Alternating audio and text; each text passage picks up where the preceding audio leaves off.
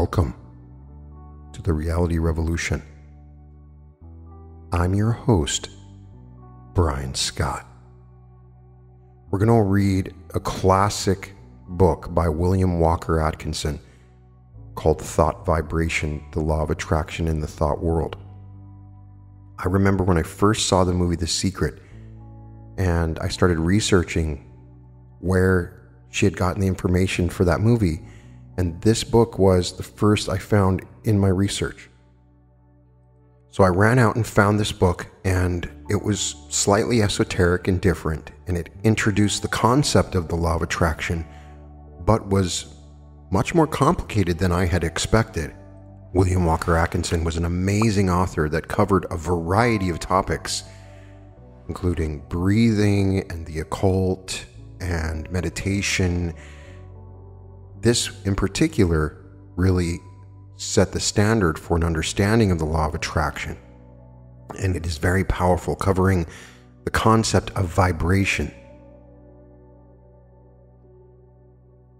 Thought Vibration by William Walker Atkinson. Chapter 1 The Law of Attraction in the Thought World. The universe is governed by law, one great law. Its manifestations are multiform, but viewed from the ultimate, there is but one law. We are familiar with some of its manifestations, but are almost totally ignorant of certain others. Still, we are learning a little more every day. The veil is being gradually lifted. We speak learnedly of the law of gravitation, but ignore that equally wonderful manifestation, the law of attraction in the thought world. We are familiar with that wonderful manifestation of law which draws and holds together the atoms, of which matter is composed. We recognize the power of the law that attracts bodies to the earth, that holds the circling worlds in their places, but we close our eyes to the mighty law that draws to us the things we desire or fear, that makes or mars our lives.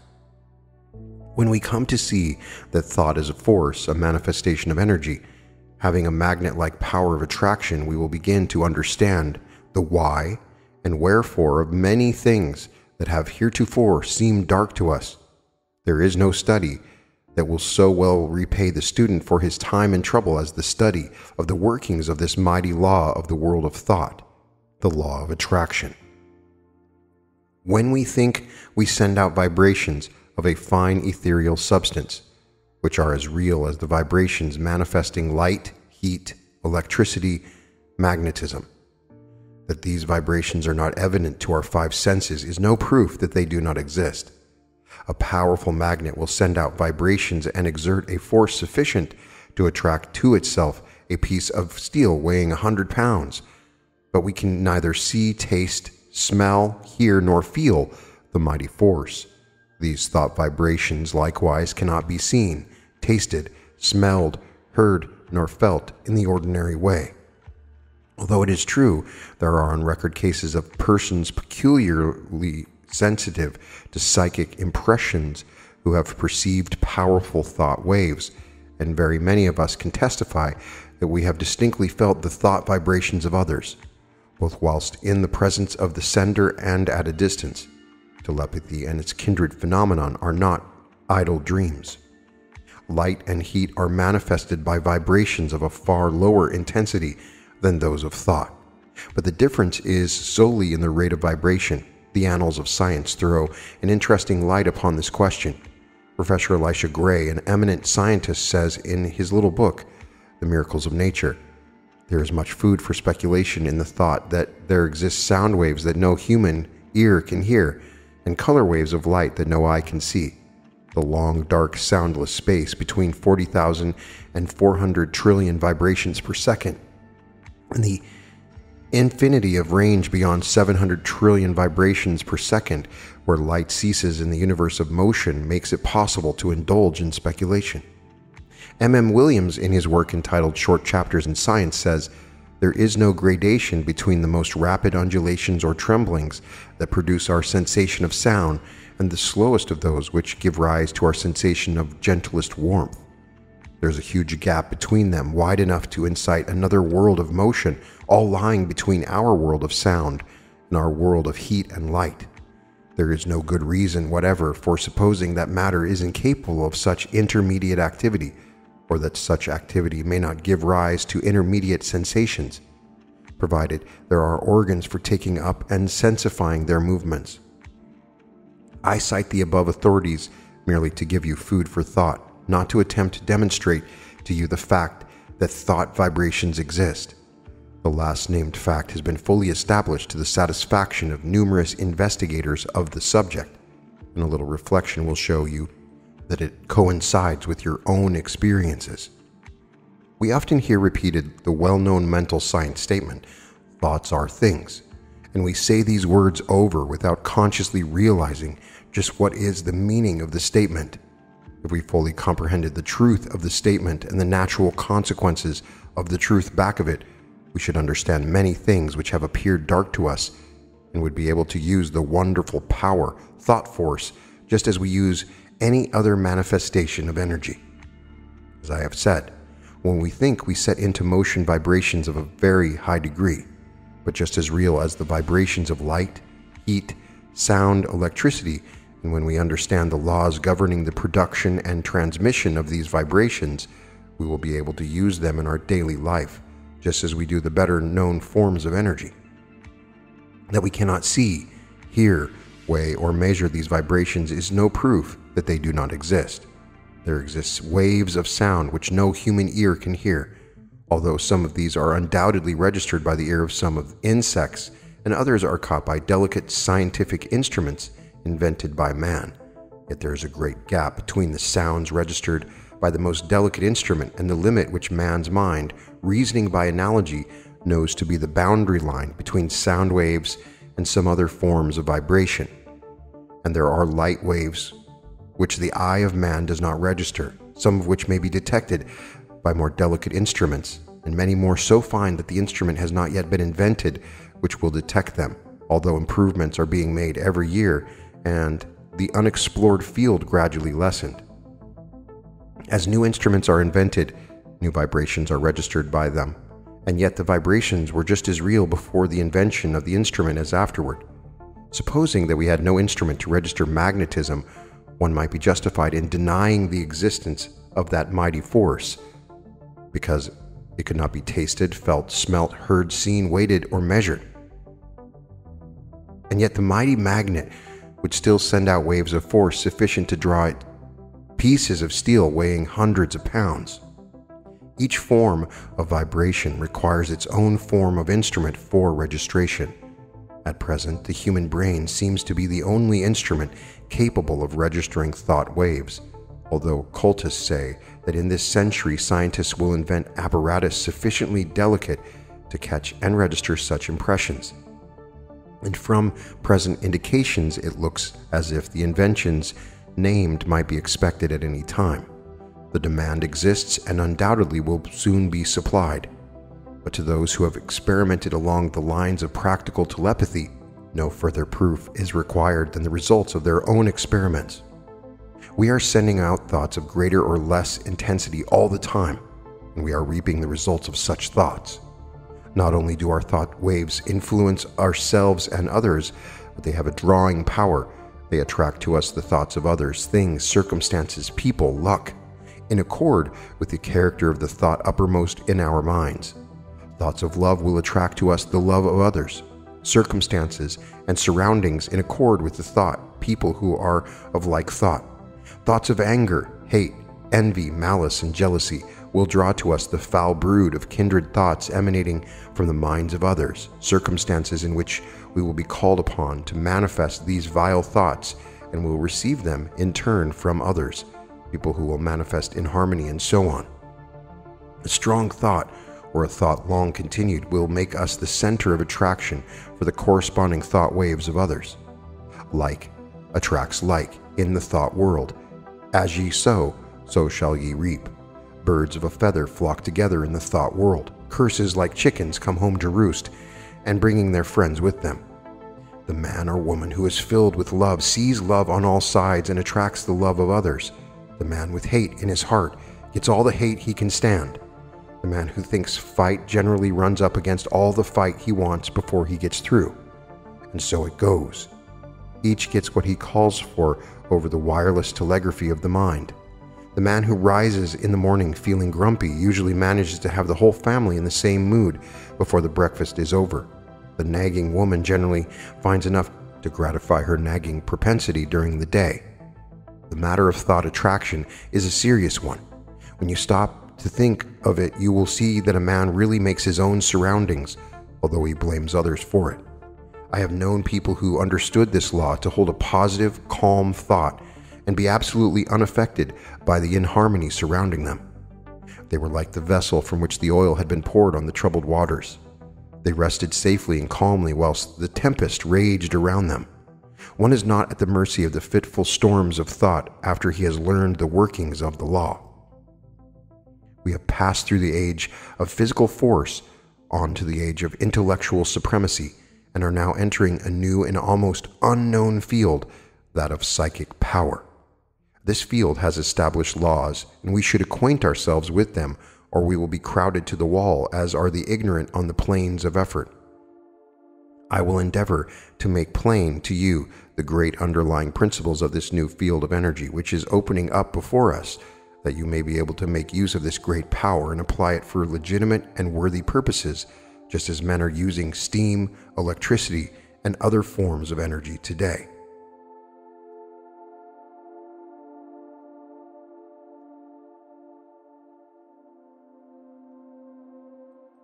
Chapter 2 Thought Waves and Their Process of Reproduction. Like a stone thrown into the water, thought produces ripples and waves which spread out over the great ocean of thought. There is this difference, however, the waves on the water move only on a level plane in all directions, whereas thought waves move in all directions from a common center, just as do the rays from the sun. Just as we here on earth are surrounded by a great sea of air, so are we surrounded by a great sea of mind. Our thought waves move through this vast mental ether, extending, however, in all directions, as I have explained, becoming somewhat lessened in intensity according to the distance traversed because of the friction occasioned by the waves coming in contact with the great body of mind surrounding us on all sides. These thought waves have other qualities differing from the waves on the water, they have the property of reproducing themselves. In this respect, they resemble sound waves rather than waves upon the water. Just as the note of the violin will cause the thin glass to vibrate and sing, so will a strong thought tend to awaken similar vibrations in minds attuned to receive it. Many of the stray thoughts which come to us are but reflections or answering vibrations to some strong thought sent out by another. But unless our minds are attuned to receive it, the thought will not likely affect us. If we are thinking high and great thoughts, our minds acquire a certain keynote corresponding to the character of the thoughts we have been thinking. And this keynote, once established, we will be apt to catch the vibrations of other minds keyed to the same thought. On the other hand, let us get into the habit of thinking thoughts of an opposite character, and we will soon be echoing the low order of thought emanating from the minds of the thousands thinking along the same lines. We are largely what we have thought ourselves into being, the balance being represented by the character of the suggestions and thoughts of others, which have reached us either directly by verbal suggestions or telepathically by means of such thought waves. Our general mental attitude, however, determines the character of the thought waves received from others as well as the thoughts emanating from ourselves. We receive only such thoughts as are in harmony with the general mental attitude held by ourselves, the thoughts not in harmony affecting us very little as they awaken no response in us. The man who believes thoroughly in himself and maintains a positive, strong mental attitude of confidence and determination is not likely to be affected by the adverse and negative thoughts of discouragement and failure emanating from the minds of other persons in whom these last qualities predominate. At the same time, these negative thoughts, if they reach one whose mental attitude is pitched on a low key, deepen his negative state and add fuel to the fire which is consuming his strength, or if you prefer this figure, serve to further smooth the fire of his energy and activity. We attract to us the thoughts of others of the same order of thought. The man who thinks success will apt to get into tune with the minds of others thinking likewise, and they will help him and he them. The man who allows his mind to dwell constantly upon thoughts of failure brings himself into close touch with the minds of other failure people, and each will tend to pull the other down still more. The man who thinks that all is evil is apt to see much evil, and will be brought into contact with others who will seem to prove his theory. And the man who looks for good in everything and everybody will be likely to attract to himself the things and people corresponding to his thought. We generally see that for which we look.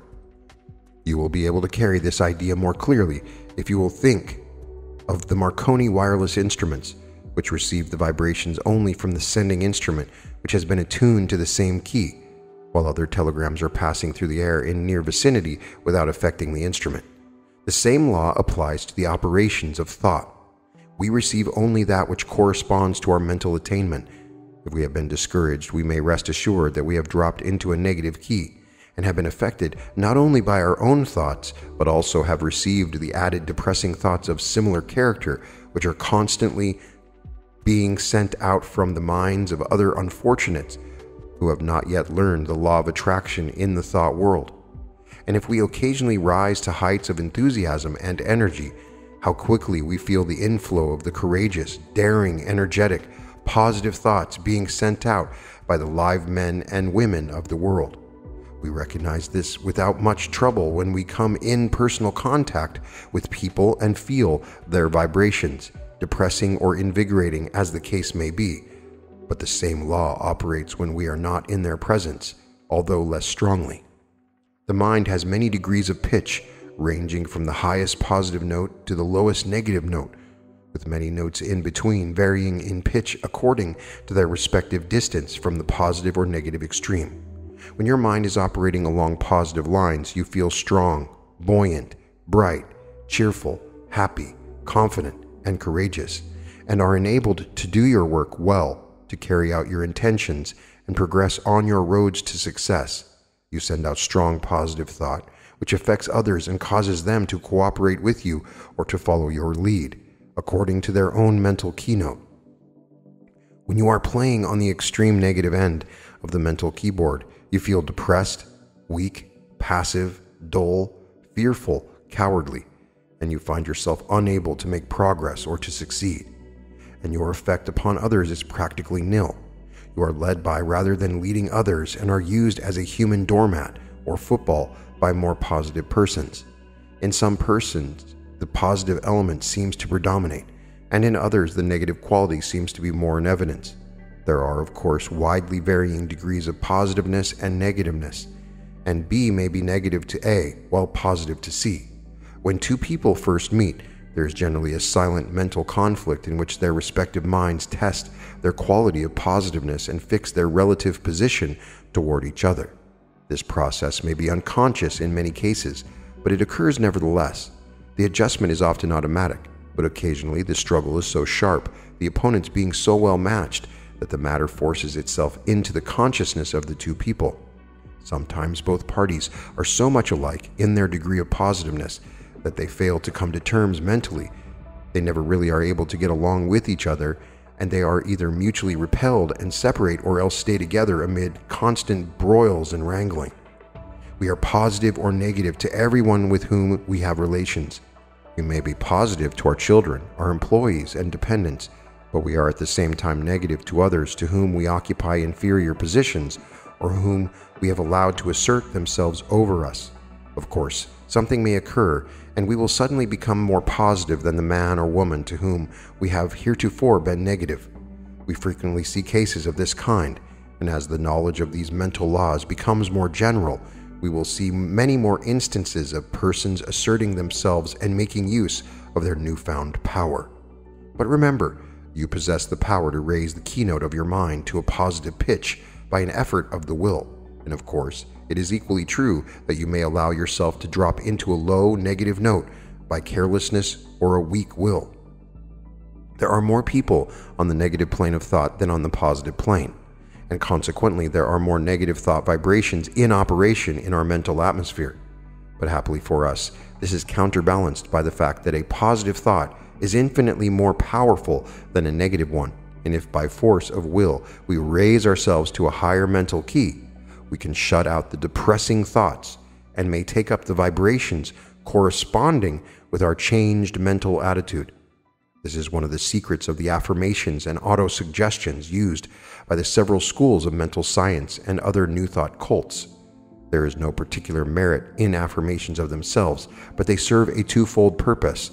One, they tend to establish new mental attitudes within us and act wonderfully in the direction of character building, the science of making ourselves over.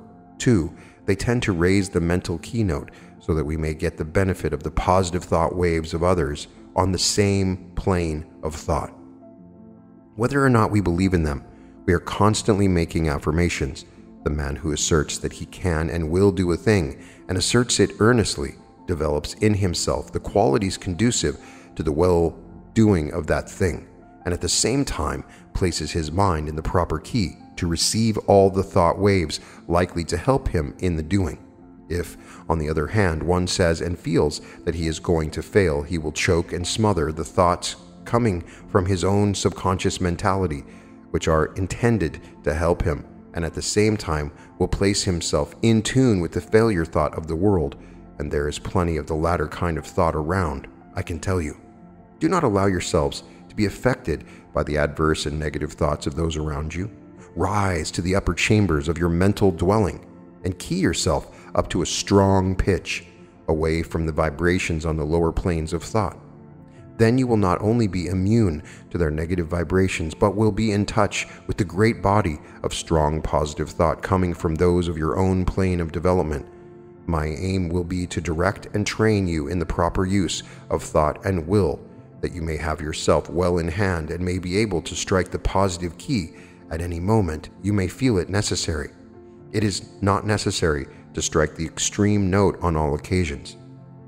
The better plan is to keep yourself in a comfortable key without much strain and to have the means at command whereby you can raise the pitch at once when occasion demands. By this knowledge, you will not be at the mercy of the old automatic action of the mind, but may have it well under your own control. Development of the will is very much like the development of a muscle, a matter of practice and gradual improvement. At first, it is apt to be tiresome, but at each trial, one grows stronger until the new strength becomes real and permanent. Many of us have made ourselves positive under sudden calls or emergencies. We are in the habit of bracing up when occasion demands, but by intelligent practice, you will be so much strengthened that your habitual state will be equal to your bracing up stage now and then you will find it necessary to apply the spur, you will be able to reach a stage not dreamed of at present. Do not understand me as advocating a high tension continuously. This is not at all desirable, not only because it is apt to be too much of a strain upon you, but also because you will find it desirable to relieve the tension at times and become receptive that you may absorb impressions. It is well to be able to relax and assume a certain degree of receptiveness, knowing that you are always able to spring back to the more positive state at will. The habitually strong, positive man loses much enjoyment and recreation. Positive, you give out expressions. Receptive, you take in impressions. Positive, you are a teacher. Receptive, a pupil. It is not only a good thing to be a good teacher, but it is also very important to be a good listener at times.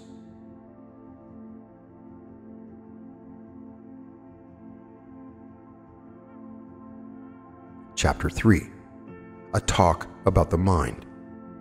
Man has but one mind, but he has many mental faculties, each faculty being capable of functioning along two different lines of mental effort. There are no distinct dividing lines separating the two several functions of a faculty, but they shade into each other as do the colors of the spectrum.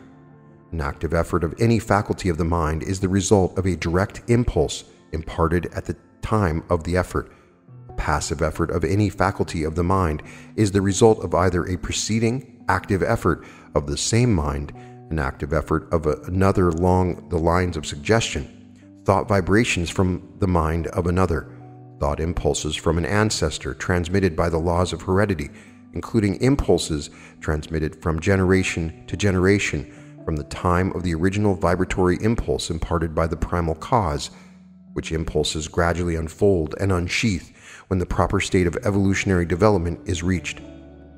The active effort is newborn, fresh from the mint, whilst the passive effort is of less recent creation, and in fact is often the result of vibratory impulses imparted in ages long past. The active effort makes its own way, brushing aside the impeding vines and kicking from its path the obstructing stones. The passive effort travels along the beaten path. A thought impulse or emotion impulse, originally caused by an active effort of faculty, may become, by continued repetition or habit, strictly automatic. The impulse given it by the repeated active effort developing a strong momentum, which carries it on along passive lines until stopped by another active effort or its direction changed by the same cause. On the other hand, thought impulses or motion impulses continued along passive lines may be terminated or corrected by an active effort. The active function creates changes or destroys. The passive function carries on the work given it by the active function and obeys orders and suggestions. The active function produces the thought habit or motion habit and imparts to it the vibrations which carry it on along the passive lines thereafter. The active function also has the power to send forth vibrations which neutralize the momentum of the thought habit or motion habit. It is also able to launch a new thought habit or motion habit with stronger vibrations, which overcomes and absorbs the first thought or motion and substitutes the new one. All thought impulses or motion impulses, once started on their errands, continue to vibrate along passive lines until corrected or terminated by subsequent impulses imparted by the active function or other controlling power. The continuance of the original impulse adds momentum and force to it and renders its correction or termination more difficult. This explains that which is called the force of habit. I think that this will be readily understood by those who have struggled to overcome a habit which had been easily acquired. The law applies to good habits as well as bad. The moral is obvious. Several of the faculties of mind often combine to produce a single manifestation. A task to be performed may call for the combined exercise of several faculties, some of which may manifest by active effort and others by passive effort. The meeting of new conditions, new problems, calls for the exercise of active effort, whilst a familiar problem or task can be easily handled by the passive effort without the assistance of his more enterprising brother. There is in nature an instinctive tendency of living organisms to perform certain actions, the tendency of an organized body to seek that which satisfies the wants of its organism. This tendency is sometimes called appetency.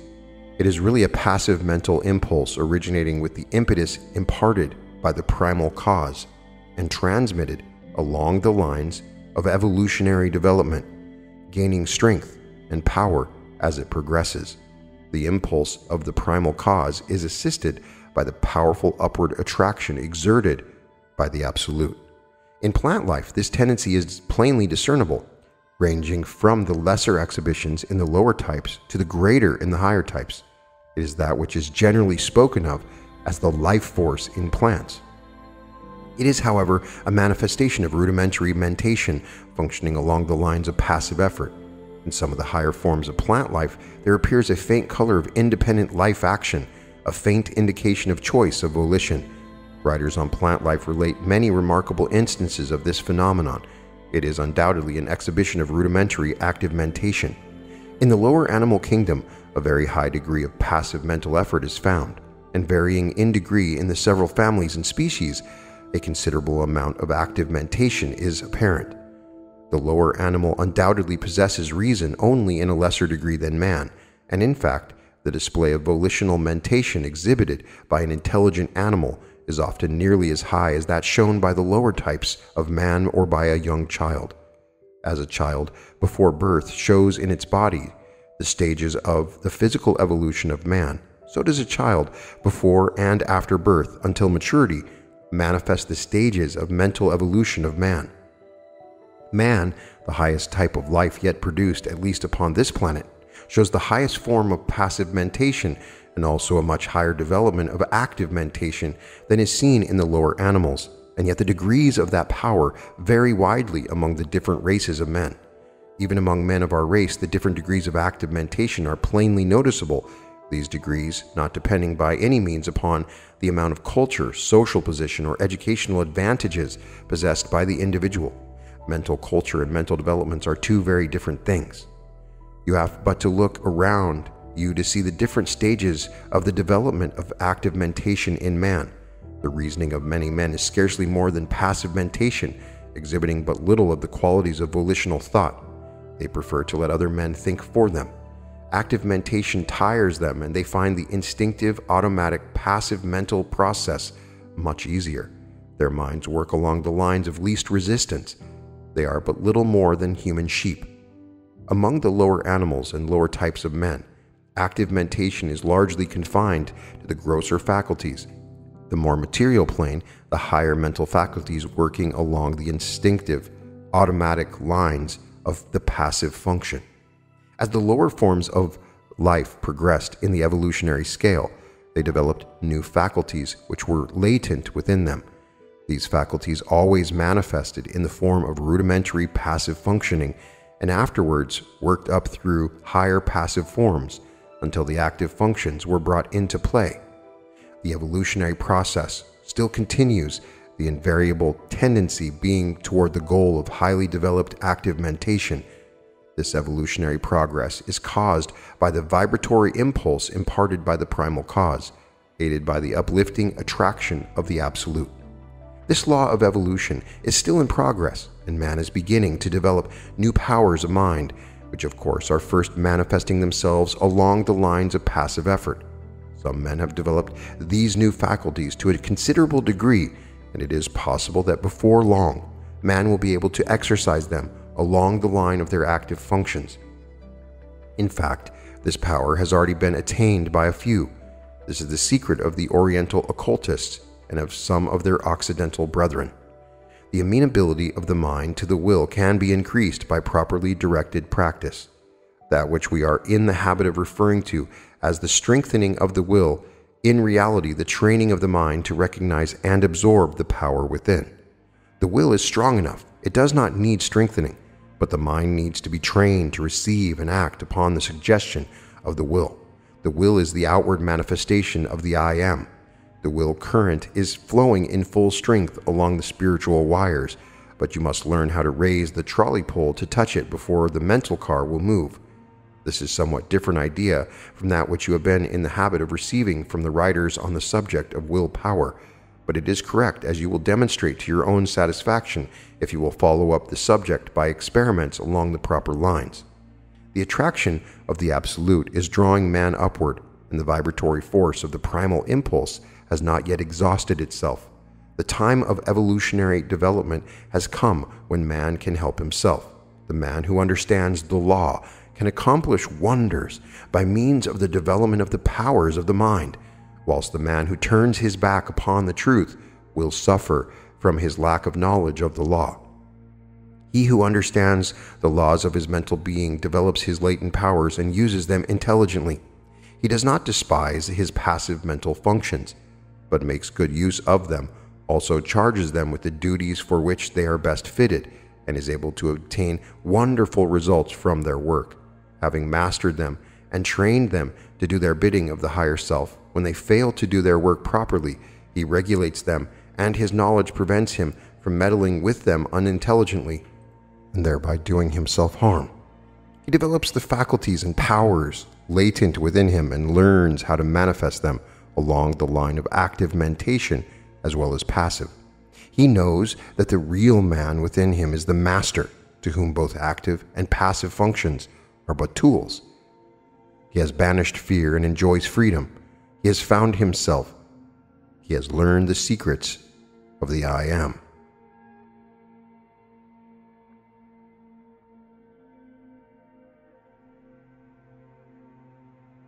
Chapter 4 mind building. Man can build up his mind and make it what he wills. In fact, we are mind building every hour of our lives, either consciously or unconsciously.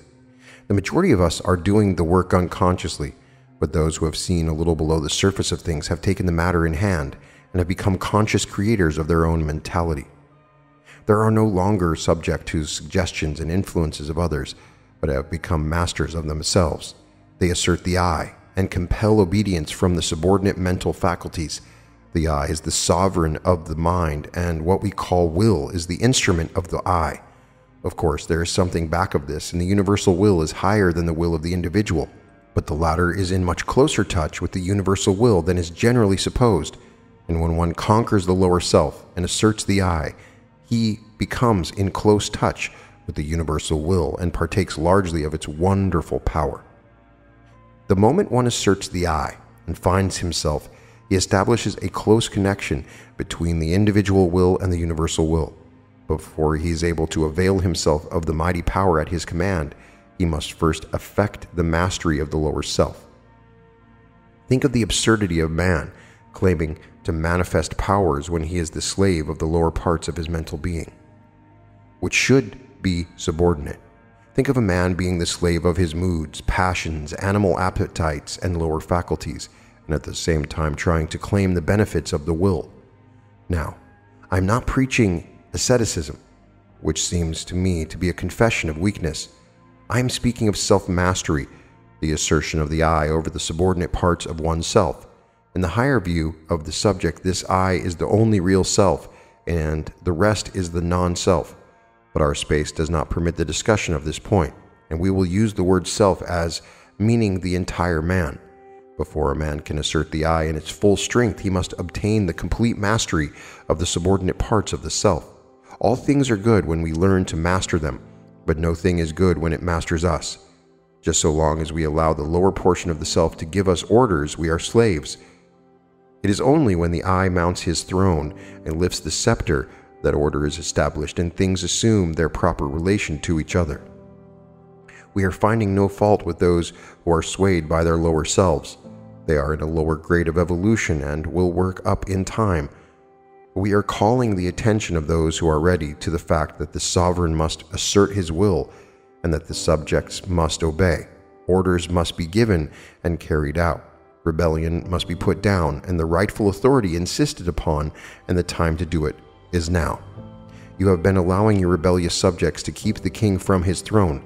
You've been allowing the mental kingdom to be misgoverned by irresponsible faculties You've been the slaves of appetite, unworthy thoughts, passion, and negativeness. The will has been set aside, and low desire has usurped the throne. It is time to reestablish order in the mental kingdom.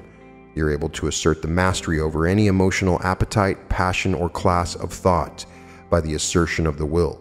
You can order fear to go to the rear, jealousy to leave your presence, hate to depart from your sight, anger to hide itself, worry to cease troubling you, uncontrolled appetite and passion to bow in submission and to become humble slaves instead of masters. All by the assertion of the I. You may surround yourself with the glorious company of courage, love, and self control by the same means. You may put down the rebellion and secure peace and order in your mental kingdom, if you will but utter the mandate and insist upon its execution before you march forth. To empire, you must establish the proper internal condition, must show your ability to govern your own kingdom. The first battle is the conquest of the lesser self by the real self. Affirmation I am asserting the mastery of my real self. Repeat these words earnestly and positively during the day at least once an hour, and particularly when you are confronted with conditions which tempt you to act on the lines of lesser self instead of following the course dictated by the real self. In the moment of doubt and hesitation, say these words earnestly and your way will be made clear to you. Repeat them several times after you retire and settle yourself to sleep. But be sure to back up the words with the thought inspiring them and do not merely repeat them parrot like. Form the mental image of the real self asserting its mastery over the lower planes of your mind. See the king on his throne You'll become conscious of an influx of new thought, and things which have seemed hard for you will suddenly become much easier. You will feel that you have yourself well in hand and that you are the master and not the slave. The thought you are holding will manifest itself in action, and you will steadily grow to become that which you have in mind. Exercise. Fix the mind firmly on the higher self and draw inspiration from it when you feel led to yield to the promptings of the lower part of your nature. When you're tempted to burst into anger, assert the I, and your voice will drop. Anger is unworthy of the developed self. When you feel vexed and cross, remember what you are and rise above your feeling. When you feel fearful, remember that the real self fears nothing and assert courage. When you feel jealousy, inciting, think of your higher nature and laugh, and so on, asserting the real self and not allowing the things on the lower plane of mentality to disturb you. They are unworthy of you and must be taught to keep their places. Do not allow these things to master you. They should be your subjects, not your masters. You must get away from this plane and the only way to do so is to cut loose from these phases of thought which have been running things to suit themselves. You may have trouble at the start, but keep at it, and you will have the satisfaction which comes only from conquering the lower parts of your nature. You've been a slave long enough. Now is the time to free yourselves. If you will follow these exercises faithfully, you'll be a different being by the end of the year and will look back with a pitying smile to your former condition. But it takes work. This is not child's play, but a task for earnest men and women. Will you make the effort?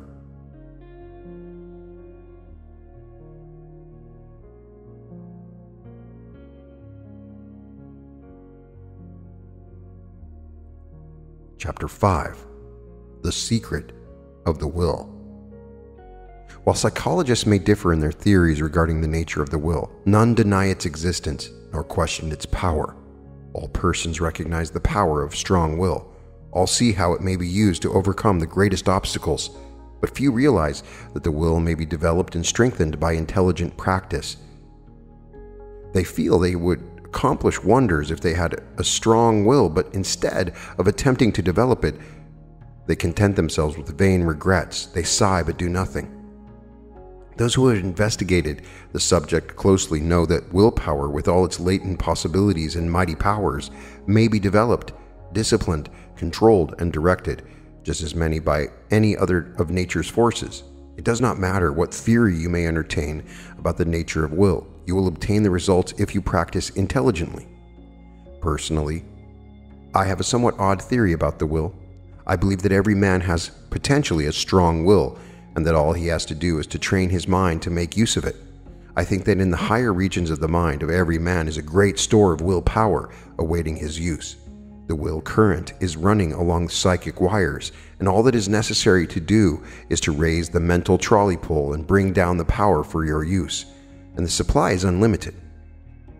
For your little storage battery is connected with the great powerhouse of the universal willpower, and the power is inexhaustible. The mind is the instrument, and the supply of willpower is proportionate to the finesse of the instrument through which it manifests. But you needn't accept this theory if you don't like it. This lesson will fit your theory as well as mine. He who has developed his mind so that it will allow the willpower to manifest through it has opened up wonderful possibilities for himself. Not only has he found a great power at his command, but he is able to bring into play and use faculties, talents, and abilities of whose existence he has not dreamed. This secret of the will is the magic key which opens all doors. The late Donald G. Mitchell once wrote Resolve is what makes a man manifest, not puny resolve, but crude determination, not errant purpose, but the strong and indefatigable will which treads down difficulties and danger as a boy treads down the heaving frost, lands of winter which kindles his eye and brain with a proud pulse beat toward the unattainable. Will makes men giants. Many of us feel that if we would but exert our will, we might accomplish wonders. But somehow we do not seem to take the trouble, at any rate, we do not get the actual willing point. We put it off from time to time and talk vaguely of some day, but that some day never comes.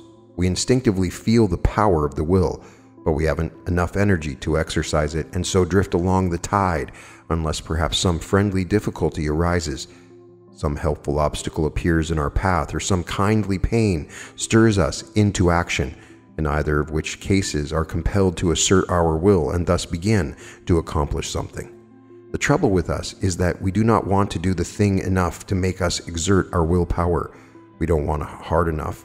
We are mentally lazy and of weak desire. If you do not like the word desire, substitute it for the word aspiration. Some people call the lower impulses desires and higher aspirations. It's all a matter of words. Take your choice. That is the trouble. Let a man be in danger of losing his life. Let a woman be in danger of losing a great love, and you will witness a startling exhibition of willpower from the unexpected source. Let a woman's child be threatened with danger, and she will manifest a degree of courage and will that sweeps all before it. And yet, the same woman will quail before a domineering husband and will lack the will to perform a simple task. A boy will do all sorts of work if he but considers it play, and yet he can scarcely force himself to cut a little firewood. Strong will follows strong desire. If you really want to do a thing very much, you can usually develop the willpower to accomplish it. The trouble is that you have not really wanted to do these things, and yet you blame your will. You say that you do want to do it, but if you stop to think, you will see that you really want to do something else more than the thing in question. You're not willing to pay the price of attainment. Stop a moment and analyze the statement and apply it in your own case. You are mentally lazy. That's the trouble. Don't talk to me about not having enough will. You have a great storehouse of will awaiting your use, but you're too lazy to use it. Now, if you're really in earnest about this matter, get to work and first find out what you really want to do, then start to work and do it. Never mind about the willpower. You'll find a full supply of that whenever you need it. The thing to do is to get to the point where you will resolve to do.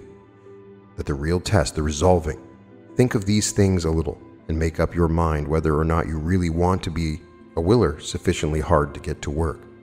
Many excellent essays and books have been written on this subject, all of which agree regarding the greatness of willpower, the most enthusiastic terms being used, but few have anything to say about how this power may be acquired by those who have it not or who possess it in but a limited degree.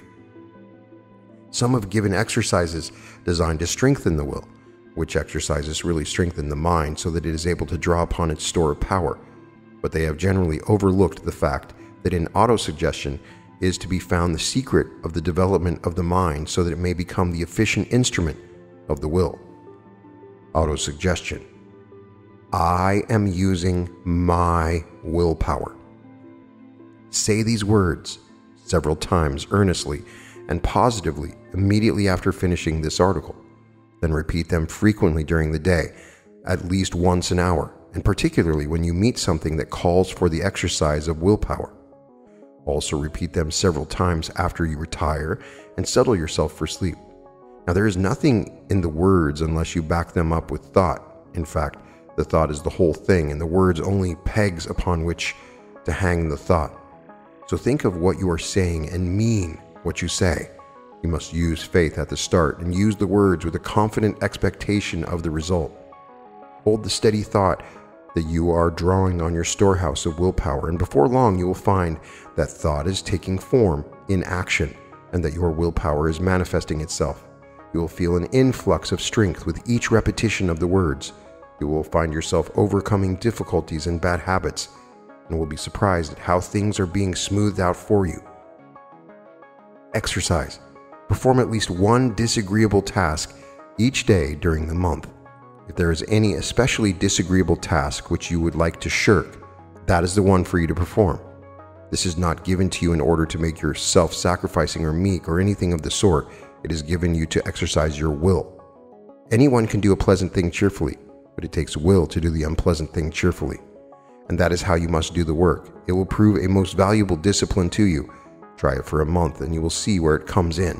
If you shirk this exercise, you had better stop right here and acknowledge that you do not want willpower and are content to stay where you are and remain a weakling.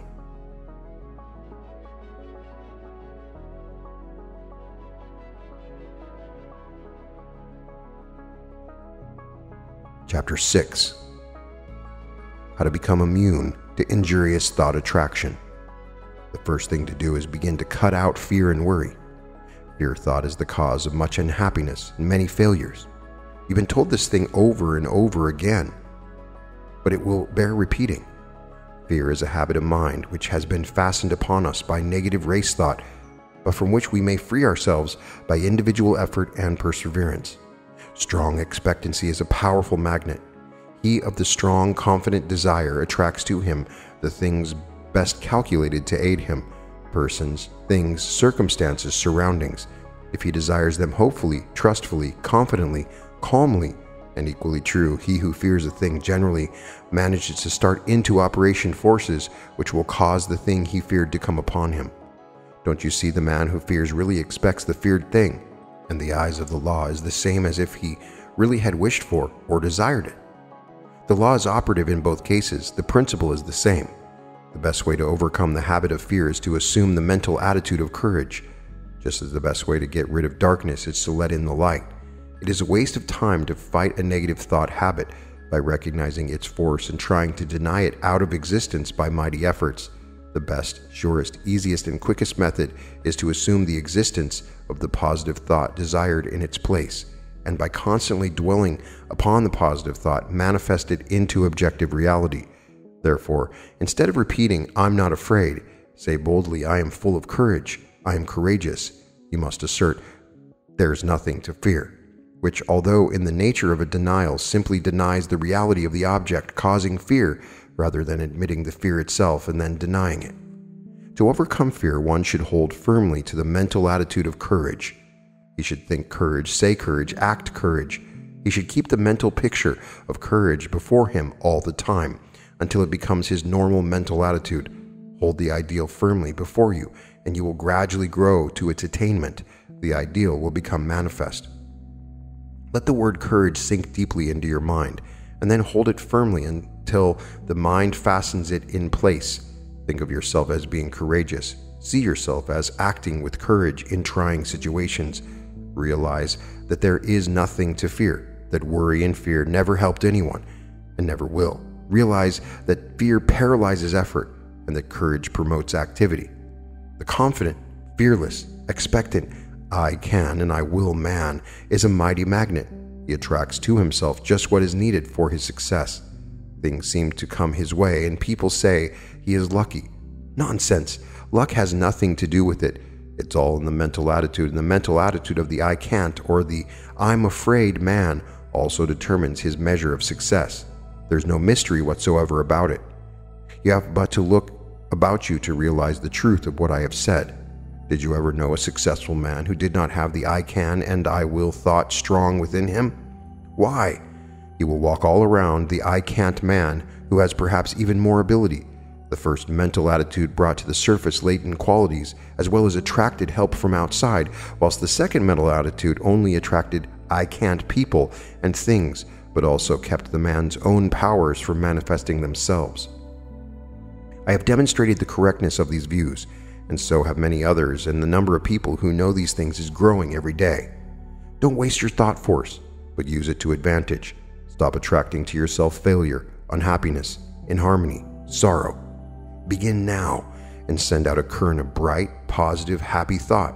Let your prevailing thought be, I can and I will think I can and I will, dream I can and I will, say I can and I will, and act I can and I will. Live on the I can and I will plane, and before you are aware of it, you will feel the new vibrations manifesting themselves in action. You'll see them bring results. Will be conscious of the new point of view. Will realize that your own is coming to you. You'll feel better, act better, see better, be better in every way after you join the I Can and I Will Brigade. Fear is the parent of worry, hate, jealousy, malice, anger, discontent, failure, and all the rest. The man who rids himself of fear will find that the rest of the brood has disappeared. The only way to be free is to get rid of fear. Tear it out by the roots. Regard the conquest of fear as the first important step to be taken by those who wish to master the application of thought force. So long as fear masters you, you are in no condition to make progress in the realm of thought. And I must insist that you start to work at once to get rid of this obstruction. You can do it. If you only go about it in earnest, and when you have riddled yourself of the vile thing, life will seem entirely different to you. You'll feel happier, freer, stronger, more positive, and will be more successful in every undertaking of life. Start it today. Make up your mind that this intruder must go. Do not compromise matters with him, but insist upon an absolute surrender on his part. You'll find the task difficult at first, but each time you oppose him, he will grow weaker and you will be stronger. Shut off his nourishment, starve him to death. He cannot live in a thought atmosphere of fearlessness, so start to fill your mind with good, strong, fearless thoughts. Keep yourself busy thinking fearlessness, and fear will die of his own accord. Fearlessness is positive, fear is negative, and you may be sure that the positive will prevail. So long as fear is around with his but, if, suppose, I'm afraid, I can't, what if, and all the rest of his cowardly suggestions, you will not be able to use your thought force to the best advantage. Once get him out of the way, you will have clear sailing, and every inch of thought, sail will catch the wind. He is Jonah, overboard with him. The whale that swallows him will have my sympathy. I advise that you start in to do some of the things which you feel you could do if you were not afraid to try. Start to work to do these things, affirming courage all the way through. And you will be surprised to see how the changed mental attitude will clear away obstacles from your path and will make things very much easier than you had anticipated. Exercises of this kind will develop you wonderfully, and you will be much gratified at the result of a little practice along these lines. There are many things before you awaiting accomplishment which you can master if you will only throw aside the yoke of fear. If you will only refuse to accept the race suggestion and will boldly assert the I and its power. The best way to vanquish fear is to assert courage and stop thinking of fear. By this plan, you will train the mind into new habits of thought, thus eradicating the old negative thoughts which have been pulling you down and holding you back. Take the word courage with you as your watchword and manifest it into action. Remember, the only thing to fear is fear. And well, don't even fear fear, for he's cowardly chap at the best, who will run if you show a brave front.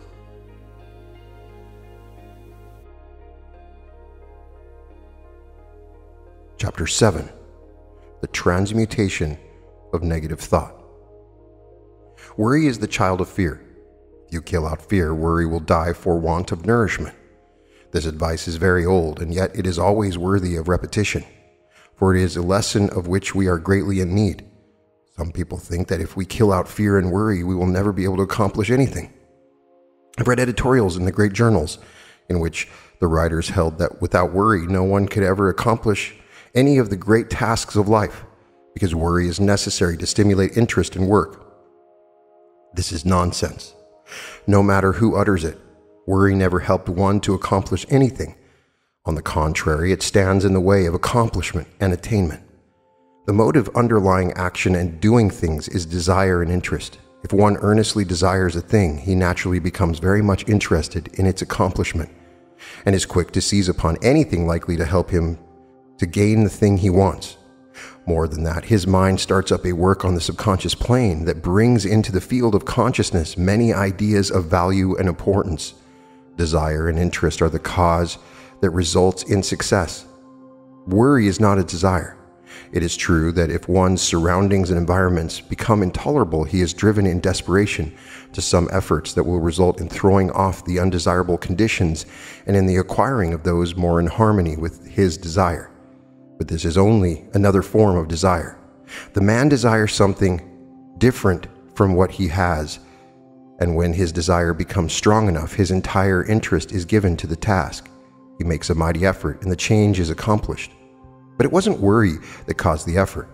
Worry could content itself with wringing its hands and moaning, Woe is me, and wearing its nerves to a frazzle and accomplishing nothing. Desire acts differently. It grows stronger as the man's conditions become intolerable, and finally, when he feels the hurt so strongly that he can't stand it any longer, he says, I won't stand this any longer. I will make a change. And lo, then desire springs into action. The man keeps on wanting a change the worst way, which is the best way, and his interest and attention being given to the task of deliverance, he begins to make things move. Worry never accomplished anything. Worry is negative and death producing. Desire and ambition are positive and life producing. A man may worry himself to death, and yet nothing will be accomplished. But let that man transmute his worry and discontent into desire and interest, coupled with the belief that he is able to make the change, the I can and I will idea, then something happens. Yes, fear and worry must go before we can do much. One must proceed to cast out these negative intruders and replace them with confidence and hope. Transmute worry into keen desire. Then you will find that interest is awakened and you will begin to think things of interest to you. Thoughts will come to you from the great reserve stock in your mind, and you will start to manifest them in action. Moreover, you'll be placing yourself in harmony with similar thoughts of others, and will draw to you aid and assistance from the great volume of thought waves with which the world is filled. One draws to himself thought waves corresponding in character with the nature of the prevailing thoughts in his own mind, his mental attitude. Then again, he begins to set into motion the great law of attraction whereby he draws to him others likely to help him, and is in turn attracted to others who can aid him. The law of attraction is no joke, no metaphysical absurdity, but it is a great live working principle of nature, as anyone may learn by experimenting and observing. To succeed in anything, you must want it very much. Desire must be in evidence in order to attract. The man of weak desires attracts very little to himself. The stronger the desire, the greater the force set into motion, you must want a thing hard enough before you can get it. You must want it more than you do the things around you, and you must be prepared to pay the price for it. The price is throwing overboard of certain lesser desires that stand in the way of the accomplishment of the greater one. Comfort, ease, leisure, amusements, and many other things may have to go. Not always, though. It all depends on what you want. As a rule, the greater the thing desired, the greater the price to be paid for it. Nature believes in adequate compensation. But if you really desire a thing in earnest, you will pay the price without question, for the desire will dwarf the importance of the other things. You say that you want a thing very much and are doing everything possible toward its attainment. Pshaw! You are only playing desire. Do you want the thing as much as a prisoner wants freedom? As much as a dying man wants life? Look at the almost miraculous things accomplished by prisoners desiring freedom. Look how they work through steel plates and stone walls with a bit of stone. Is your desire as strong as that? Do you work for the desired thing as if your life depended upon it?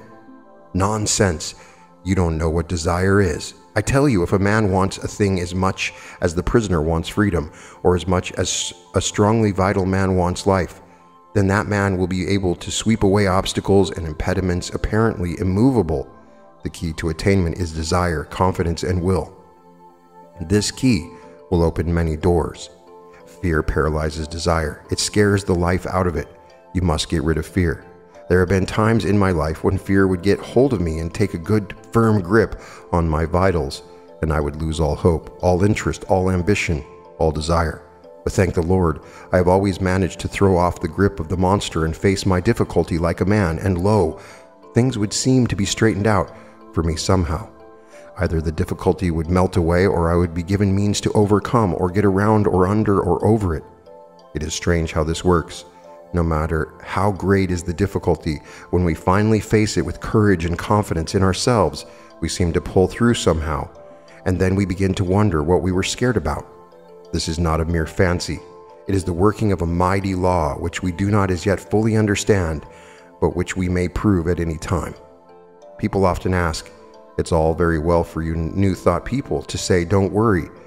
But what's a person to do when he thinks of all the possible things ahead of him, which might upset him and his plans? Well, all that I can say is that man is foolish to bother about thinking of troubles to come at some time in the future. The majority of things that we worry about don't come to pass at all. A large proportion of the others come in milder form than we had anticipated, and there are always other things which come at the same time which help us to overcome the trouble. The future holds in store for us not only the difficulties to be overcome, but also agents to help us in overcoming the difficulties.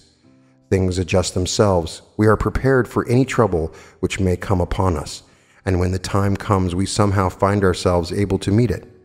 God not only tempers the wind to shorn lamb, but he also tempers the shorn lamb to the wind. The winds and the shearing do not come together. There is usually enough time for the lamb to get seasoned, and then he generally grows new wool before the cold blast comes. It has been well said that nine tenths of the worries are over things which never come to pass, and that the other tenth is over things of little or no account. So, what's the use in using up all your reserve force in fretting over future troubles, if this be so? Better wait until your troubles really come before you worry. You will find that by the storing up of energy, you will be able to meet about any sort of trouble that comes your way. What is it that uses up all the energy in the average man or woman anyway? Is it real overcoming of difficulties or the worrying about impending troubles? It's always tomorrow, tomorrow, and yet tomorrow never comes just as we feared it would. Tomorrow is all right. It carries in its grip good things as well as troubles. Bless my soul when I sit down and think over the things which I once feared might possibly descend upon me. I laugh. Where are those feared things now? I don't know. I've almost forgotten that I ever feared them. You do not need fight worry. That isn't the way to overcome the habit. Just practice concentration and then learn to concentrate on something right now before you, and you will find the worry thought has vanished. The mind can think of but one thing at a time, and if you concentrate upon a bright thing, the other thing will fade away. There are better ways of overcoming objectionable thoughts than by fighting them. Learn to concentrate upon thoughts of an opposite character, and you will have solved the problem. When the mind is full of worry thoughts, it cannot find time to work out plans to benefit you. But when you have concentrated upon bright, helpful thoughts, you will discover that it will start to work subconsciously, and when the time comes, you will find all sorts of plans and methods by which you will be able to meet the demands upon you. Keep your mental attitude right, and all things will be added unto you. There's no sense in worrying, nothing has ever been gained by it, nothing ever will be. Bright, cheerful, and happy thoughts attract bright, cheerful, and happy things to us. Worry drives them away. Cultivate the right mental attitude.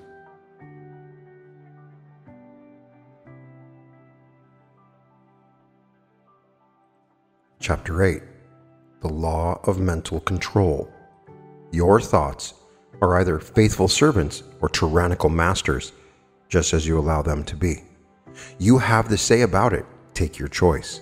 They will either go about your work under direction of the firm will, doing it the best they know how, not only in your waking hours, but when you are asleep. Some of your best mental work being performed for us when our conscious mentality is at rest, as is evidenced by the fact that when the morning comes, we find troublesome problems have been worked out for us during the night, after we had dismissed them from our minds, apparently, for they will ride all over us and make us their slaves if we are foolish enough to allow them to do so. More than half the people of the world are slaves of every vagrant thought which may see fit to torment them. Your mind is given you for your good and for your own use, not to use you. There are very few people who seem to realize this and who understand the art of managing the mind. The key to the mystery is concentration. A little practice will develop within every man the power to use the mental machine properly. When you have some mental work to do, concentrate upon it to the exclusion of everything else, and you will find the mind will get right down to business, to the work at hand, and matters will be cleared up in no time. There is an absence of friction, and all waste motion or lost power is obviated. Every pound of energy is put to use, and every revolution of the mental driving wheel counts for something. It pays to be able to be a competent mental engineer, and the man who understands how to run his mental engine knows that one of the important things is to be able to stop it when the work has been done. He does not keep putting coal in the furnace and maintaining a high pressure after the work is finished, or when the day's portion of the work has been done, and the fire should be banked until the next day. Some people act as if the engine should be kept running whether there was any work to be done or not and then they complain if it gets worn out and wobbles and needs repairing. These mental engines are fine machines and need intelligent care. To those who are acquainted with the laws of mental control, it seems absurd for one to lie awake at night fretting about the problems of the day, or more often of the morrow. It is just as easy to slow down the mind as it is to slow down an engine, and thousands of people are learning to do this in these days of new thought. The best way to do it is to think of something else, as far different from the obtruding thought as possible. There is no use fighting an objectionable thought with the purpose of downing it. That is a great waste of energy, and the more you keep it on saying, I won't think of this thing, the more it keeps on coming into your mind, for you are holding it there for the purpose of hitting it. Let it go. Don't give it another thought. Fix the mind on something entirely different and keep the attention there by any effort of the will. A little practice will do much for you in this direction. There's only room for one thing at a time in the focus of attention, so put all your attention upon one thought, and the others will sneak off. Try it for yourself.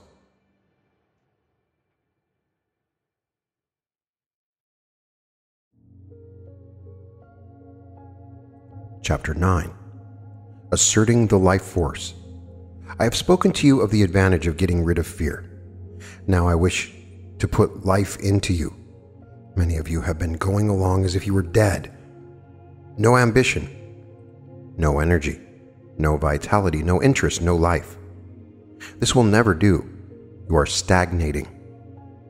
Wake up and display a few signs of life.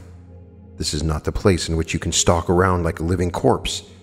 This is the place for wide awake, active, live people, and a good general awakening is what is needed. Although it would take nothing less than a blast from Gabriel's trumpet to awaken some of the people who are stalking around thinking that they are alive, but who are really dead to all that makes life worthwhile. We must let life flow through us and allow it to express itself naturally do not let the little worries of life or the big ones either depress you and cause you to lose your vitality. Assert the life force within you and manifest it in every thought, act, and deed. And before long, you will be exhilarated and fairly bubbling over with vitality and energy. Put a little life into your work, into your pleasures, into yourself. Stop doing things in a half headed way and begin to take an interest in what you're doing, saying, and thinking. It is astonishing how much interest we may find in the ordinary things of life if we will only wake up. There are interesting things all around us, interesting events occurring every moment, but we will not be aware of them unless we assert our life force and begin to actually live instead of merely existing. No man or woman ever amounted to anything unless he or she put life into the tasks of everyday life, the acts, the thoughts, what the world needs is live men and women. Just look into the eyes of the people whom you meet and see how you few of them are really alive. The most of them lack that expression of conscious life which distinguishes the man who lives from the one who simply exists.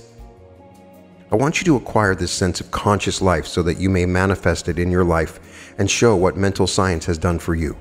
I want you to get to work today and begin to make yourselves over according to the latest pattern. You can do this if you will only take the proper interest in the task.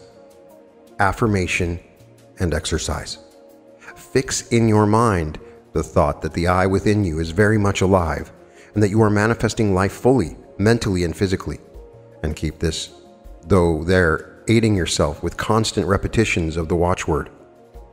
Don't let the thought escape you, but keep pushing it back into the mind. Keep it before the mental vision as much as possible. Repeat the watchword when you awaken in the morning, say it when you retire at night, and say it at meal times and whenever else you can during the day, at least in once an hour. From the mental picture of yourself as filled with life and energy.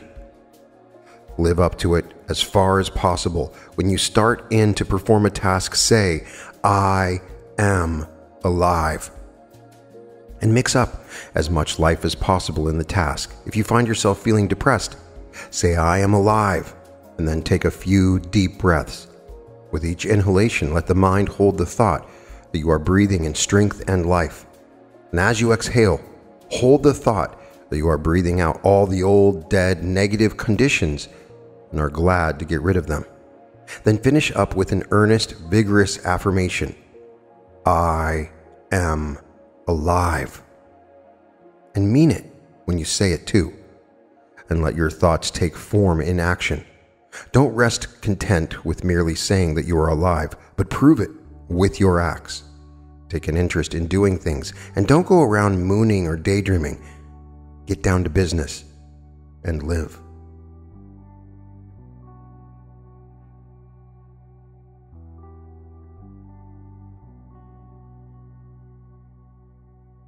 Chapter 10 Training the Habit Mind. Professor William James, the well known teacher of and writer upon psychology, very truly says the great thing in all education is to make our nervous system our ally instead of our enemy. For this, we must make automatic and habitual as early as possible as many useful actions as we can and carefully guard against growing into ways that are likely to be disadvantageous. In the acquisition of a new habit, or the leaving off of an old one, we must take care to launch ourselves with as strong and decided initiative as possible. Never suffer an exception to occur until the new habit is securely rooted in your life. Seize the very first possible opportunity to act on every resolution you make and on every emotional prompting you may experience in the direction of the habits you aspire to gain. This advice is along the lines familiar to all students of mental science, but it states the matter more plainly than the majority of us have done. It impresses upon us the importance of passing on to the subconscious mind the proper impulses so they will become automatic and second nature. Our subconscious mentality is a great storehouse for all sorts of suggestions from ourselves and others, and as it is the habit mind, we must be careful to send it the proper material from which it may make habits. If we get into the habit of doing certain things, we may be sure that the subconscious mentality will make it easier for us to do just the same thing over and over again, easier each time. Until finally, we are firmly bound with the ropes and chains of the habit and find it more or less difficult, sometimes almost impossible, to free ourselves from the hateful thing. We should cultivate good habits against the hour of need. The time will come when we will be required to put forth our best efforts, and it rests with us today whether that hour of need shall find us doing the proper thing automatically and almost without thought, or struggling to do it bound down and hindered with the chains of things opposed to that which we desire at that moment. We must be on guard at all times to prevent the forming of undesirable habits. There may be no special harm in doing a certain thing today, or perhaps again tomorrow, but there may be much harm in setting up the habit of doing that particular thing. If you are confronted with the question, which of these two things should I do? The best answer is, I will do that which I would like to become a habit with me. In forming a new habit or in breaking an old one, we should throw ourselves into the task with as much enthusiasm as possible in order to gain the most ground before the energy expends itself when it meets with friction from the opposing habits already formed. We should start in by making as strong an impression as possible upon the subconscious mentality. Then we should be constantly on guard against temptations to break the new resolution just this once. This just once idea kills off more good resolutions than any other one cause. The moment you yield just this once, you introduce the thin edge of the wedge that will, in the end, split your resolution into pieces. Equally important is the fact that each time you resist temptation, the stronger does your resolution become. Act upon your resolution as early and as often as possible, as with every manifestation of thought in action, the stronger does it become. You are adding to the strength of your original resolution every time you back it up with action. The mind has been likened to a piece of paper that has been folded. Ever afterwards, it has a tendency to fold in the same crease, unless we make a new crease or fold, when it will follow the last lines, and the creases are habits, Every time we make one, it is so much easier for the mind to fold along the same crease afterwards. Let us make our mental creases in the right direction.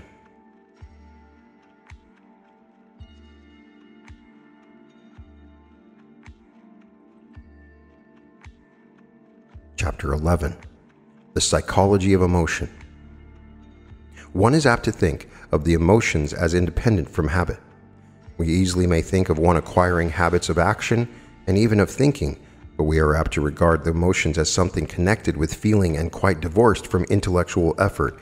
Yet, notwithstanding the distinction between the two, both are dependent largely upon habit, and one may repress, increase, develop, and change one's emotions, just as one may regulate habits of action and lines of thought. It is an axiom of psychology that emotions deepen by repetition if a person allows a state of feeling to thoroughly take possession of him, he will find it easier to yield to the same emotion the second time, and so on, until the particular emotion or feeling becomes second nature to him. If an undesirable emotion shows itself inclined to take up a permanent abode with you, you had better start to work to get rid of it or at least to master it.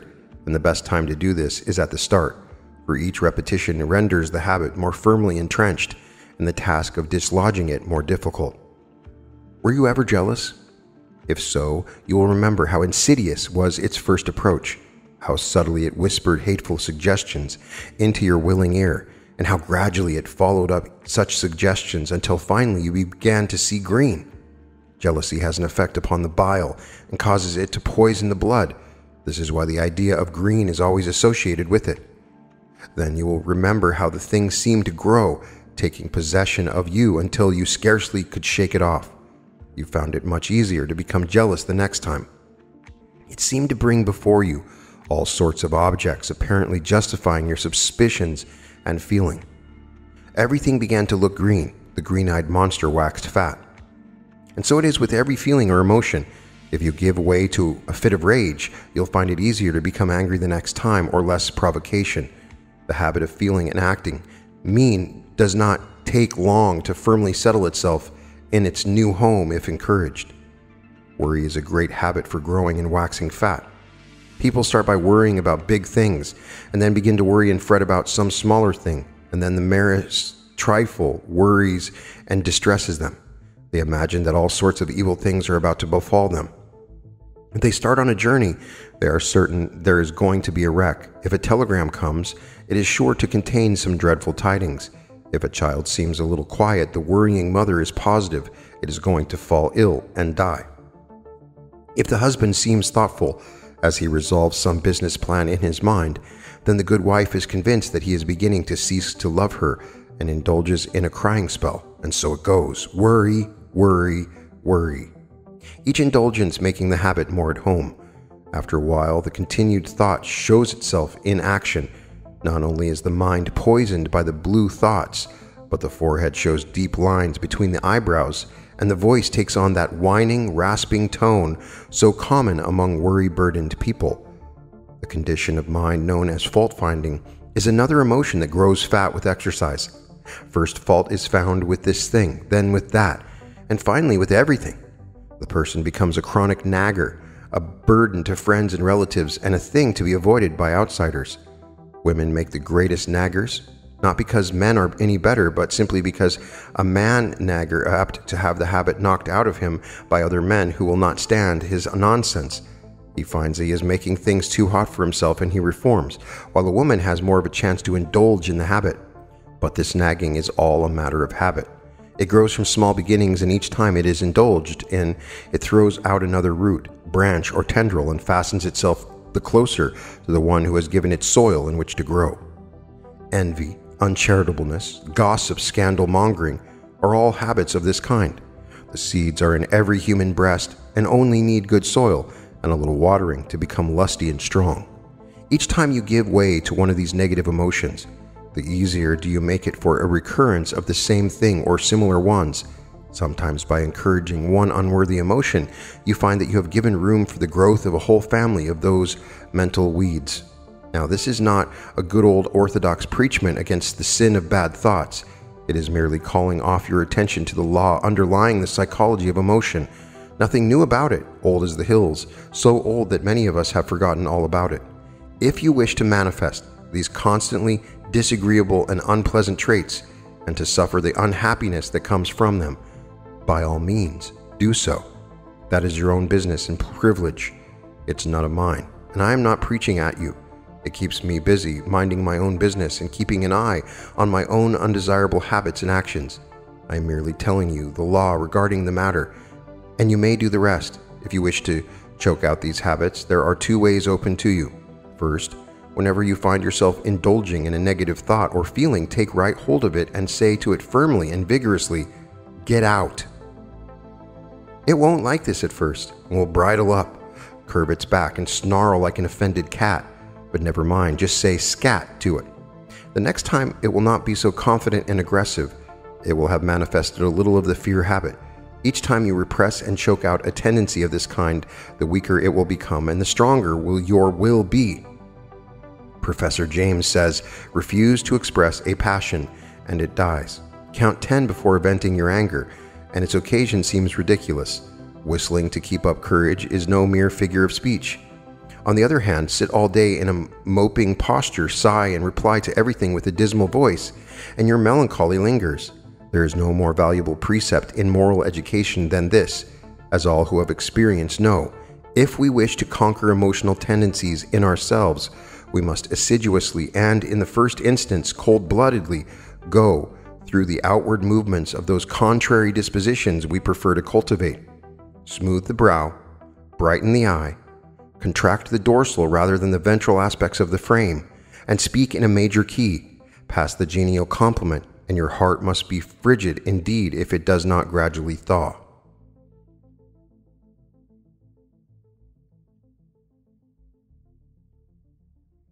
Chapter 12 Developing New Brain Cells. I have spoken of the plan of getting rid of undesirable states of feeling by driving them out. But a far better way is to cultivate the feeling or emotion directly opposed to the one you wish to eradicate.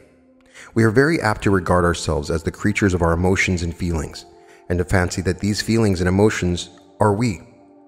But such is far from being the truth. It is true that the majority of the race are slaves of their emotions and feelings and are governed by them to a great degree. They think that feelings are things that rule one and from which one cannot free himself, and so they cease to rebel. They yield to the feeling without question, although they may know that the motion or mental trait is calculated to injure them and to bring unhappiness and failure instead of happiness and success. They say, We are made that way, and let it go at that. The new psychology is teaching the people better things. It tells them they are masters of their emotions and feelings instead of being their slaves. It tells them that brain cells may be developed that will manifest along desirable lines and that the old brain cells that have been manifesting so unpleasantly may be placed on the retired list and allowed to atrophy from want of use. People may make themselves over and change their entire natures. This is not mere idle theory, but is a working fact, which has been demonstrated by thousands of people and which is coming more and more before the attention of the race. No matter what theory of mind we entertain, we must admit that the brain is the organ and instrument of the mind, in our present state of existence at least, and that the brain must be considered in this matter. The brain is like a wonderful musical instrument, having millions of keys, upon which we may play innumerable combinations of sounds. We come into the world with certain tendencies, temperaments, and predispositions. We may account for these tendencies by heredity, or we may account for them upon theories of pre existence, but the facts remain the same. Certain keys seem to respond to our touch more than others. Certain notes seem to sound forth as the current of circumstances sweeps over the strings, and certain other notes are less easily vibrated. But we find that if we make an effort of the will to restrain the utterance of some of these easily sounded strings, they will grow more difficult to sound and less liable to be stirred by the passing breeze. If we will pay attention to some of the other strings that have been given forth a clear tone, we will soon get them in good working order. Their notes will chime forth, clear and vibrant, and we will drown the less pleasant sounds. We have millions of unused brain cells awaiting our cultivation. We are using but a few of them, and some of these we are working to death. We are able to give some of these cells a rest by using other cells. The brain may be trained and cultivated in a matter incredible to one who has not looked into the subject. Mental attitudes may be acquired and cultivated changed, and discarded at will. There is no longer any excuse for people manifesting unpleasant and harmful mental states. We have the remedy in our own hands. We acquire habit of thought, feeling, and action, repeated use. We may be born with a tendency in a certain direction, or we may acquire tendencies by suggestions from others, such as the examples of those around us, suggestions from reading, listening to teachers. We are a bundle of mental habits. Each time we indulge in an undesirable thought or habit, the easier does it become for us to repeat that thought or action. Mental scientists are in the habit of speaking of desirable thoughts or mental attitudes as positive and of the undesirable ones as negative. There's a good reason for this. The mind instinctively recognizes certain things as good for the individual to which it belongs, and it clears the path for such thoughts and interposes the least resistance to them. They have a much greater effect than an undesirable thought possesses, and one positive thought will counteract a number of negative thoughts. The best way to overcome undesirable or negative thoughts and feelings is to cultivate the positive ones. The positive thought is the strongest plant and will in time starve out the negative one by withdrawing from it the nourishment necessary for its existence. Of course, the negative thought will set up a vigorous resistance at first, for it is a fight for life with it. In the slang words of the time, it sees its finish if the positive thought is allowed to grow and develop, and consequently, it makes things unpleasant for the individual until he has started well into the work of starving it out. Brain cells do not like to be laid on the shelf any more than does any other form of living energy, and they rebel and struggle until they become too weak to do so. The best way is to pay as little attention as possible to these weeds of the mind, but put in as much time as possible watering, caring for, and attending to the new and beautiful plants in the garden of the mind. For instance, if you're apt to hate people, you can best overcome the negative thought by cultivating love in its place. Think love and act it out as often as possible. Cultivate thoughts of kindness and act as kindly as you can to everyone with whom you come in contact. You have trouble at the start, but gradually love will master hate, and the latter will begin to droop and wither. If you have a tendency towards the blues, cultivate a smile and a cheerful view of things. Insist upon your mouth wearing upturned corners and make an effort of the will to look upon the bright side of things. The Blue Devils will set up a fight, of course, but pay no attention to them. Just go on cultivating optimism and cheerfulness. Let bright, cheerful, and happy be your watchword and try to live it out. These recipes may seem very old and time worn. They are psychological truths and may be used by you to advantage. If you once comprehend the nature of the thing, the affirmations and auto suggestions of the several schools may be understood and taken advantage of. You may make yourself energetic instead of slothful, active instead of lazy by this method. It is all a matter of practice and steady work. New thought people often have much to say about holding the thought, and indeed it is necessary to hold the thought in order to accomplish results. But something more is needed. You must act out the thought until it becomes fixed habit with you. Thoughts take form in action, and in turn, actions influence thought. So, by acting out certain lines of thought, the actions react upon the mind and increase the development of the part of the mind having close relation to the act. Each time the mind entertains a thought, the easier becomes the resulting action, and each time an act is performed, the easier becomes the corresponding thought. So you see, the thing works both ways action and reaction. If you feel cheerful and happy, it is very natural for you to laugh. And if you will laugh a little, you'll begin to feel bright and cheerful. Do you see what I'm trying to get at? Here it is in a nutshell, if you wish to cultivate a certain habit of action, begin by cultivating the mental attitude corresponding to it.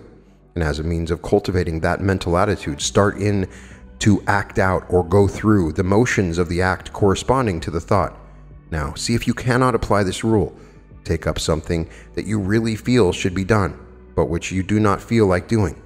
Cultivate the thought leading up to it. Say to yourself, I like to do so and so, and then go through the emotions. Cheerfully remember and act out the thought that you like to do the thing. Take an interest in the doing. Study out the best way to do it. Put brains into it. Take a pride in it. And you will find yourself doing the thing with a considerable amount of pleasure and interest. You will have cultivated a new habit. If you prefer trying it on some mental trait of which you wish to be rid, it will work the same way. Start in to cultivate the opposite trait and think it out and act it out for all you are worth. Then watch the change that will come over you. Don't be discouraged at the resistance you will encounter at first, but sing gaily, I can, and I will, and get to work in earnest. The important thing in this work is to keep cheerful and interested. If you manage to do this, the rest will be easy.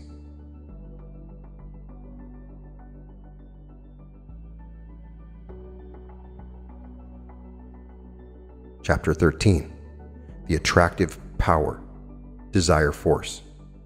We've discussed the necessity of getting rid of fear, that your desire may have full strength with which to work.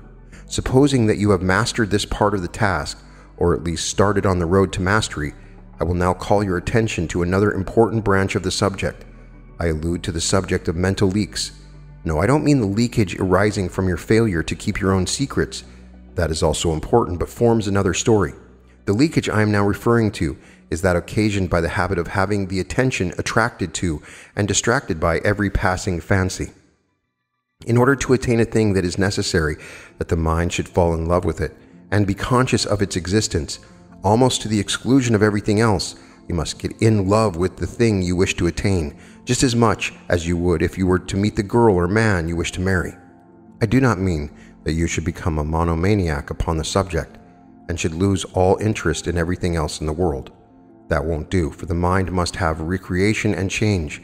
But I do mean that you must be set upon the desired thing, that all else will seem of secondary importance.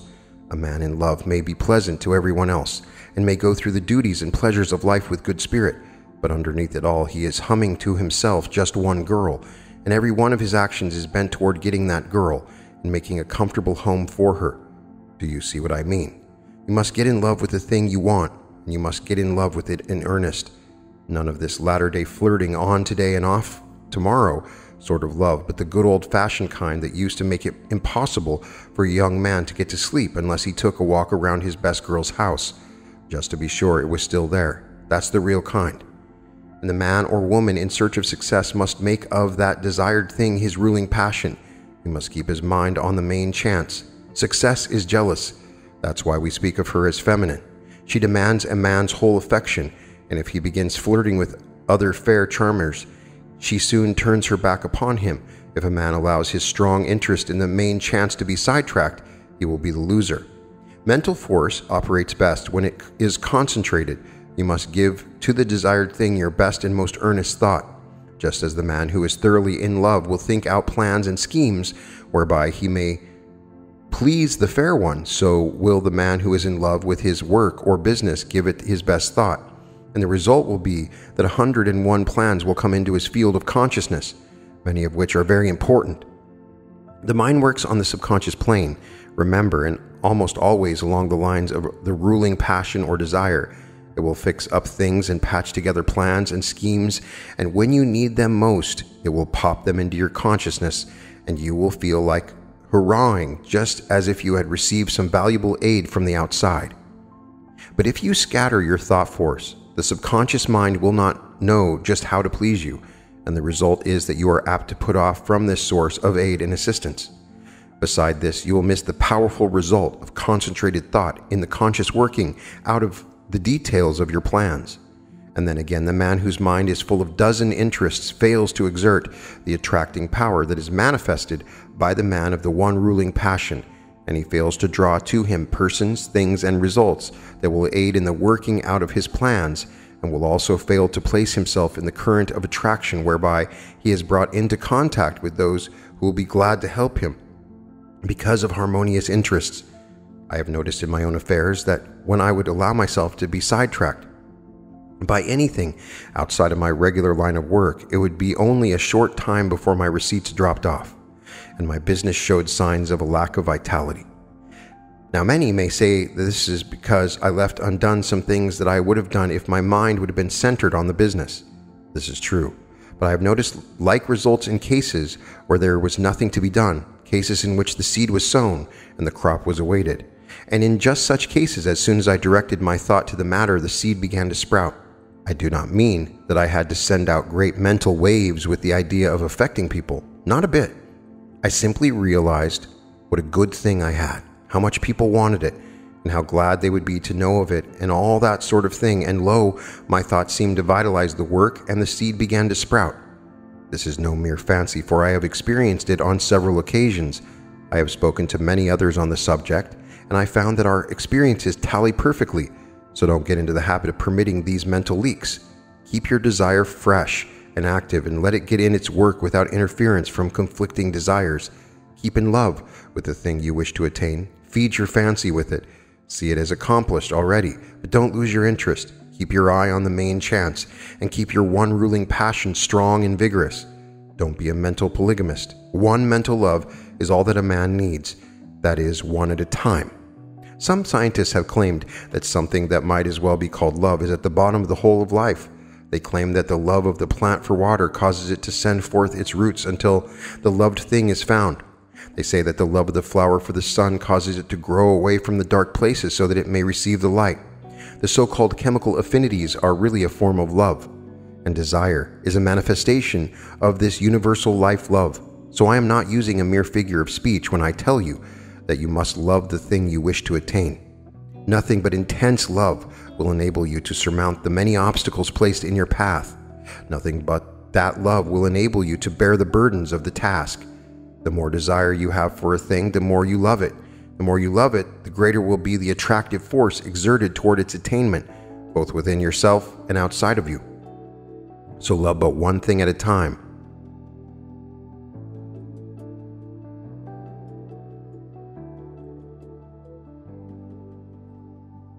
Chapter 14 The Great Dynamic Forces.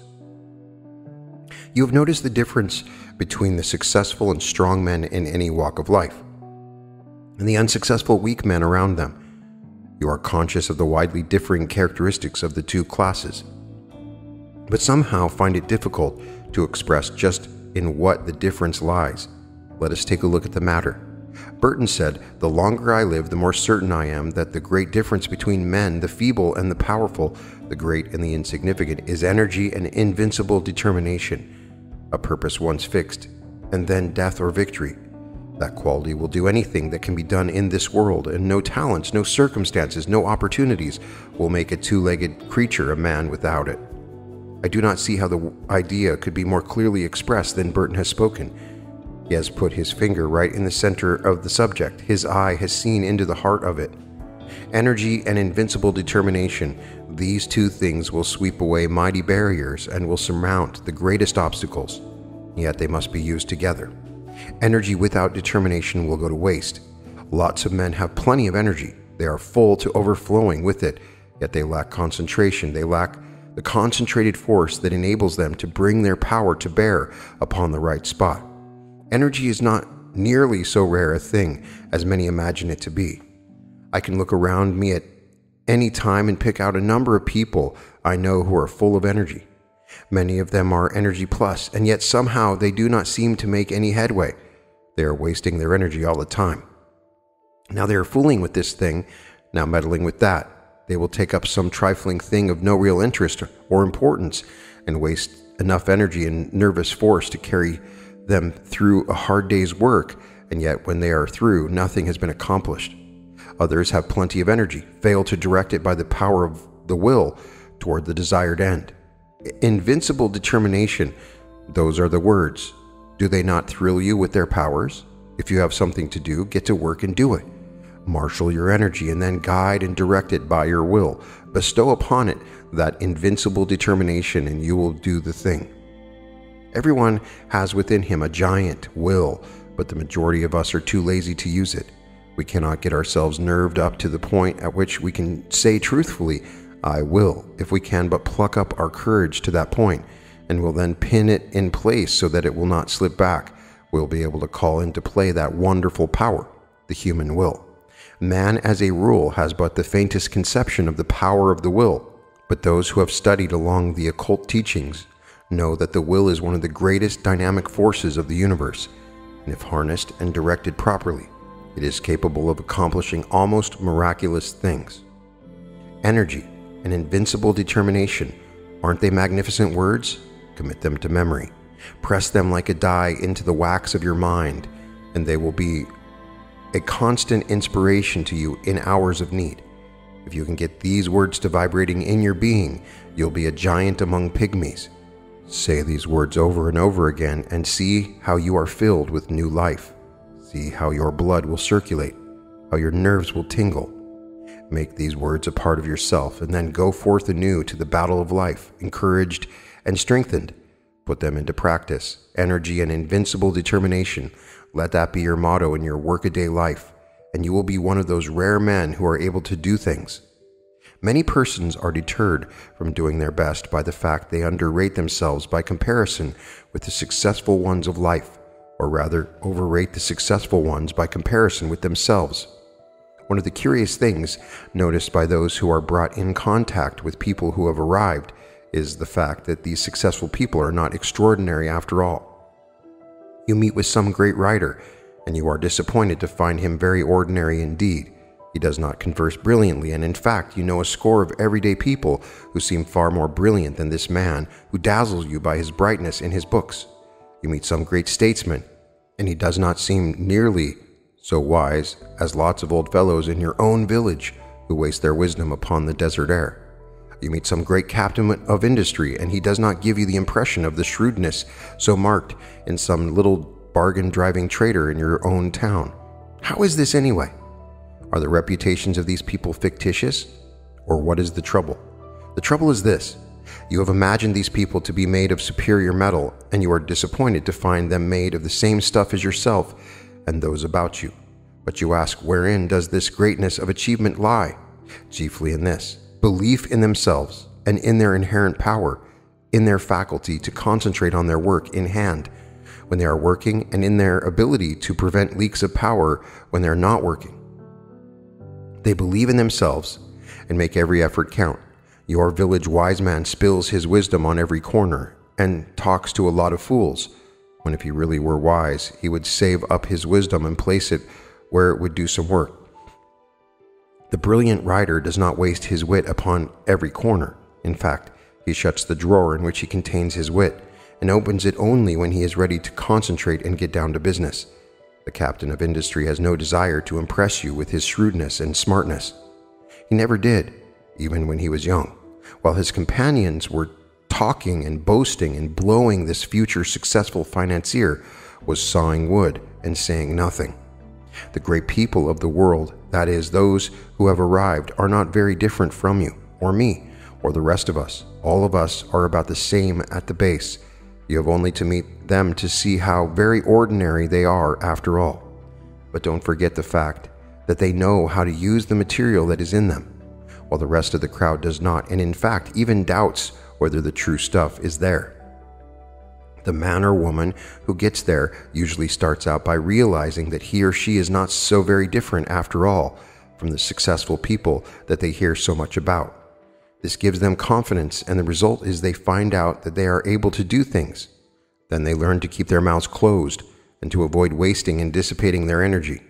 They store up energy and concentrate it upon the task at hand, while their companions are scattering their energies in every direction, trying to show off and let people know how smart they are.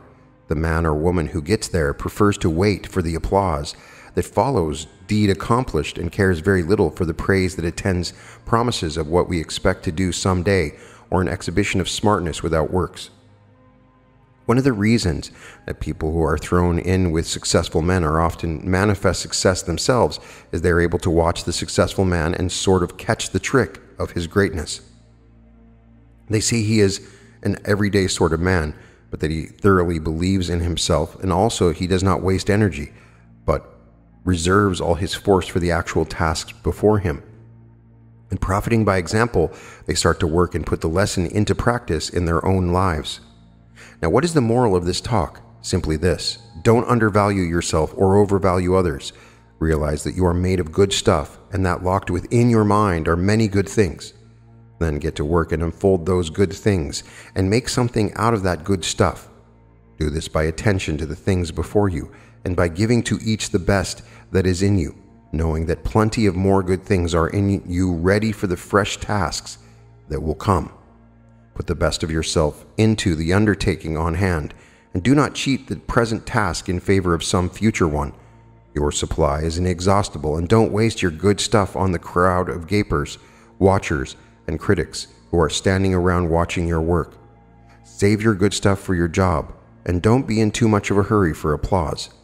Save up your good thoughts for copy if you're a writer. Save up your bright schemes for actual practice if you're a businessman. Save up your wisdom for occasion if you're a statesman. And in each case, avoid the desire to scatter your pears before, well, before the gaping crowd that wants to be entertained by a free show. Nothing very high about this teaching, perhaps, but it is what many of you need very much. Stop fooling and get down to business. Stop wasting good raw material and start to work making something worthwhile.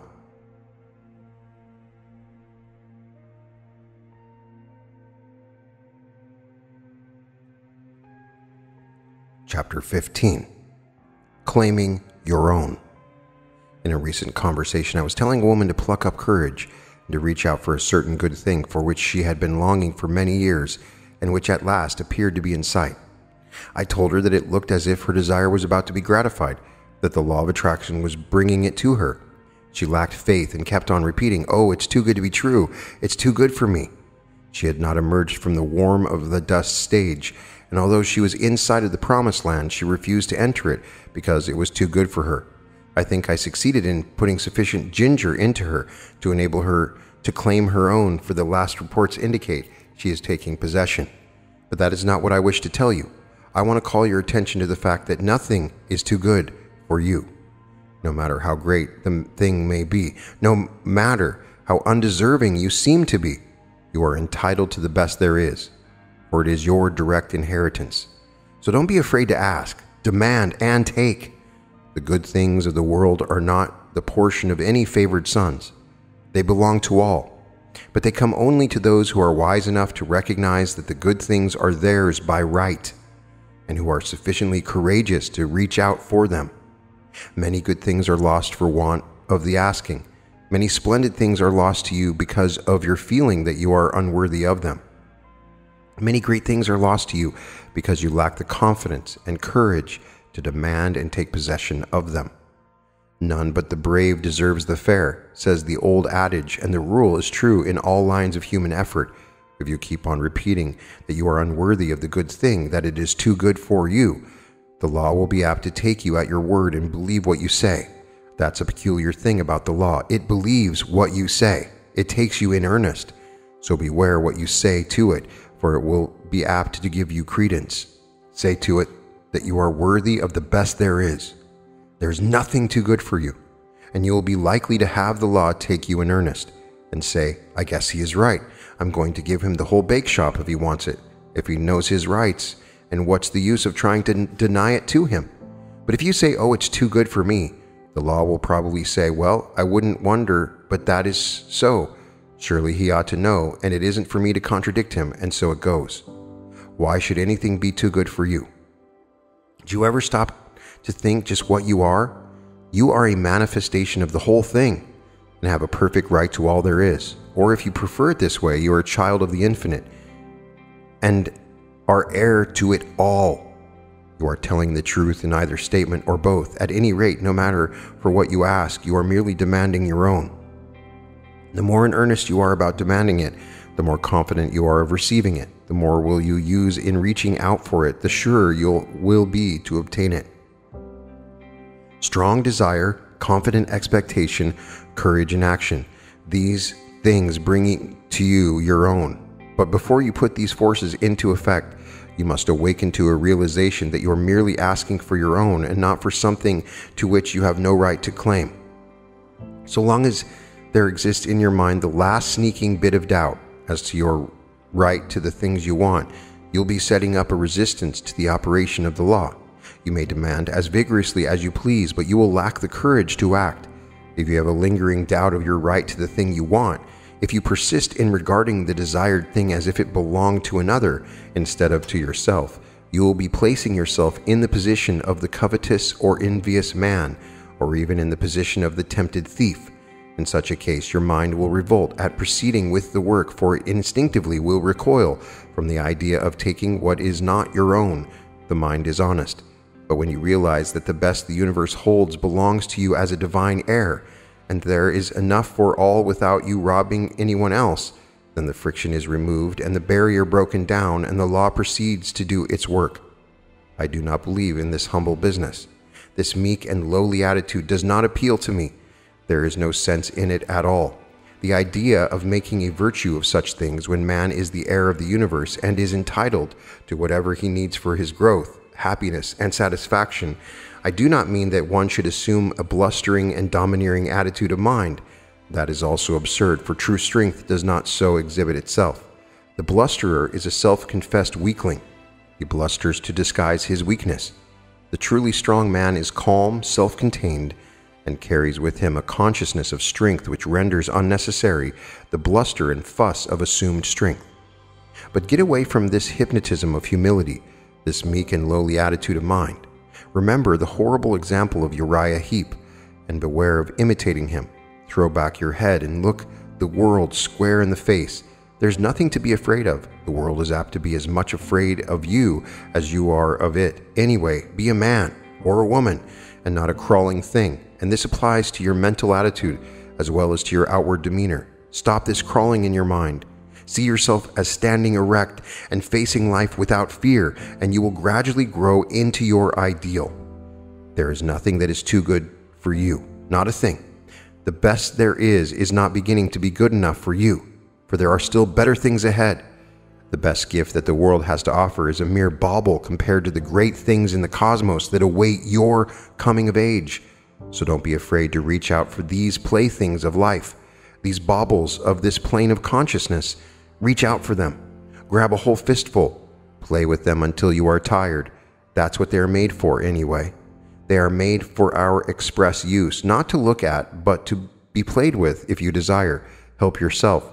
There's a whole shop full of these toys awaiting your desire, demand, and taking.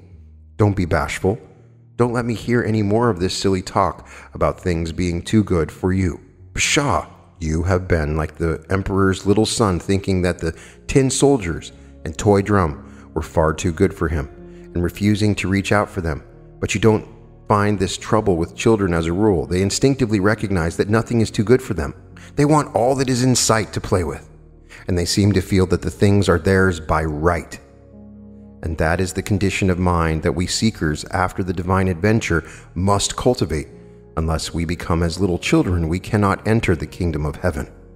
The things we see around us are the playthings of the kindergarten of God, playthings which we use in our game tasks. Help yourself to them. Ask for them without bashfulness. Demand as many as you can make use of. They are yours. And if you don't see just what you want, ask for it. There's a big reserve stock on the shelves and in the closets. Play, play, play to your heart's content.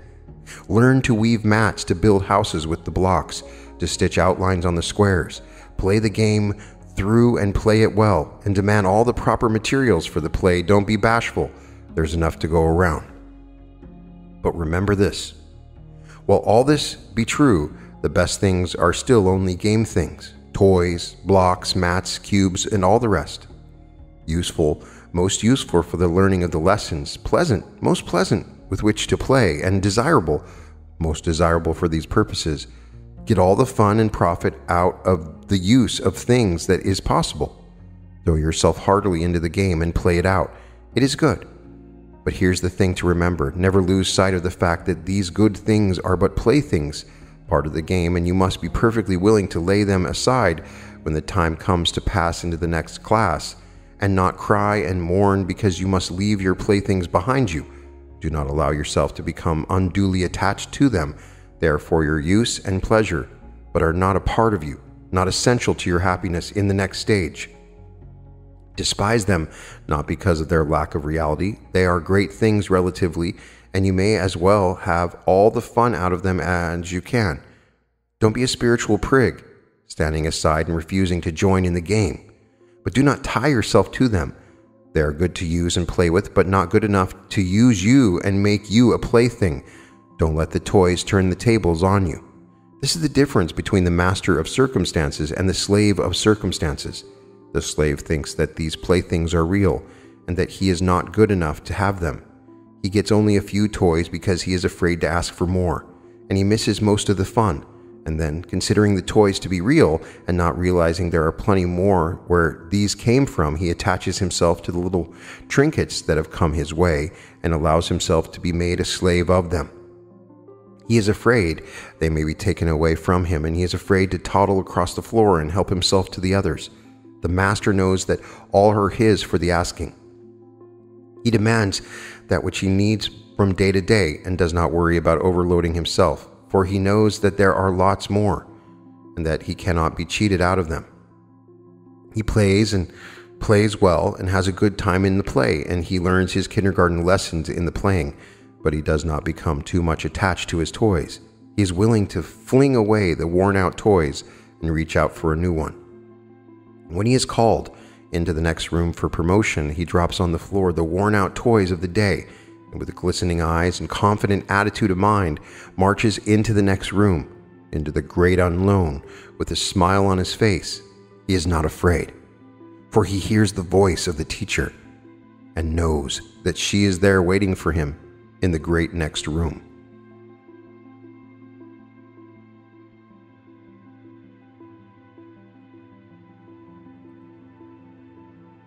Chapter 16 Law, Not Chance. Some time ago, I was talking to a man about the attractive power of thought. He said that he did not believe that thought could attract anything to him, that it was all a matter of luck. He had found, he said, that ill luck relentlessly pursued him and that everything he touched went wrong. It always had, and always would, and he had grown to expect it. When he undertook a new thing, he knew beforehand that it would go wrong and that no good would come of it. Oh no, there wasn't anything in the theory of attractive thought so far as he could see. It was all a matter of luck.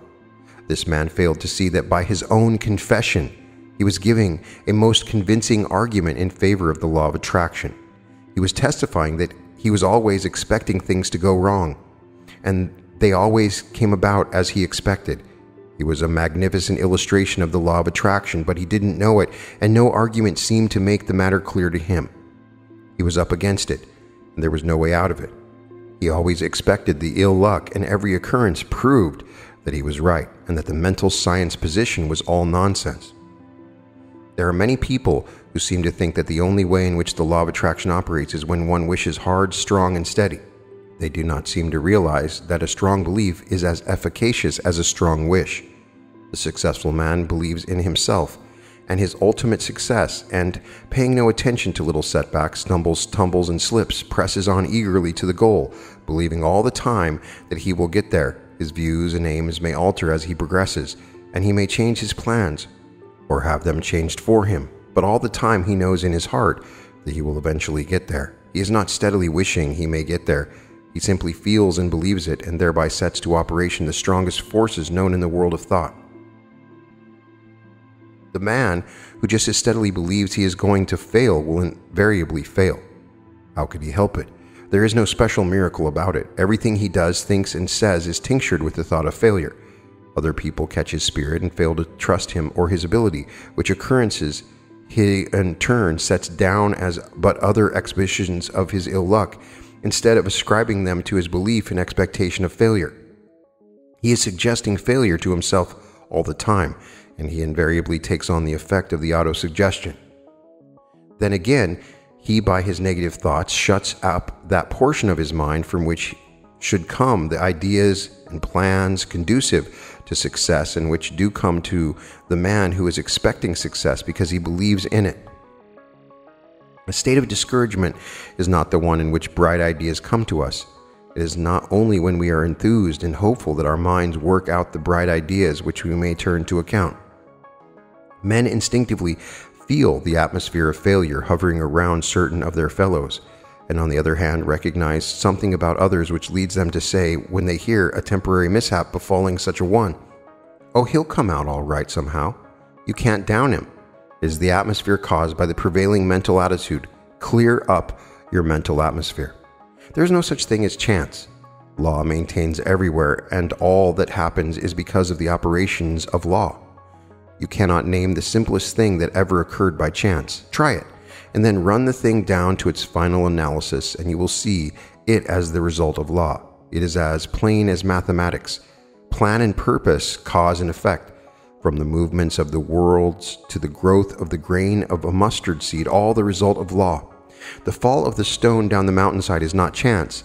Forces which had been in operation for centuries caused it, and back of that cause were other causes, and so on until the causeless cause is reached. And life is not the result of chance. The law is here, too. The law is in full operation whether you know it or not, whether you believe in it or not. You may be the ignorant object upon which the law operates and bring yourself all sorts of trouble because of your ignorance of or opposition to the law. Or you may fall in with the operations to the law, get into its current, as it were, and life will seem a far different thing to you. You cannot get outside of the law by refusing to have anything to do with it. You are at liberty to oppose it and produce all the friction you wish to. It doesn't hurt the law, and you may keep it up until you learn your lesson. The law of thought attraction is one name for the law, or rather, for one manifestation of it. Again, I say your thoughts are real things. They go forth from you in all directions, combining with thoughts of like kind, opposing thoughts of a different character, forming combinations, going where they are attracted, flying away from thought centers opposing them, and your mind attracts the thoughts of others, which have been sent out by them conscious or unconsciously, but it attracts only those thoughts which are in harmony with its own. Like attracts like, and opposites repel opposites in the world of thought. If you set your mind to the keynote of courage, confidence, strength, and success, you attract to yourself thoughts of like nature, people of like nature, things that fit in the mental tune. Your prevailing thought or mood determines that which is to be drawn toward you, picks out your mental bedfellow. You are today setting into motion thought currents which will in time attract toward you thoughts, people, and conditions in harmony with the predominant note of your thought. Your thought will mingle with that of others of like nature and mind, and you will be attracted toward each other, and will surely come together with a common purpose sooner or later, unless one or the other of you should change the current of his thoughts. Fall in with the operations of the law, make it a part of yourself, get into its currents, maintain your poise, set your mind to the keynote of courage, confidence, and success. Get in touch with all the thoughts of that kind that are emanating every hour from hundreds of minds. Get the best that is to be had in the thought world. The best is there. So be satisfied with nothing less. Get into partnership with good minds. Get into the right vibrations. You must be tired of being tossed about by the operations of the law. Get into harmony with it.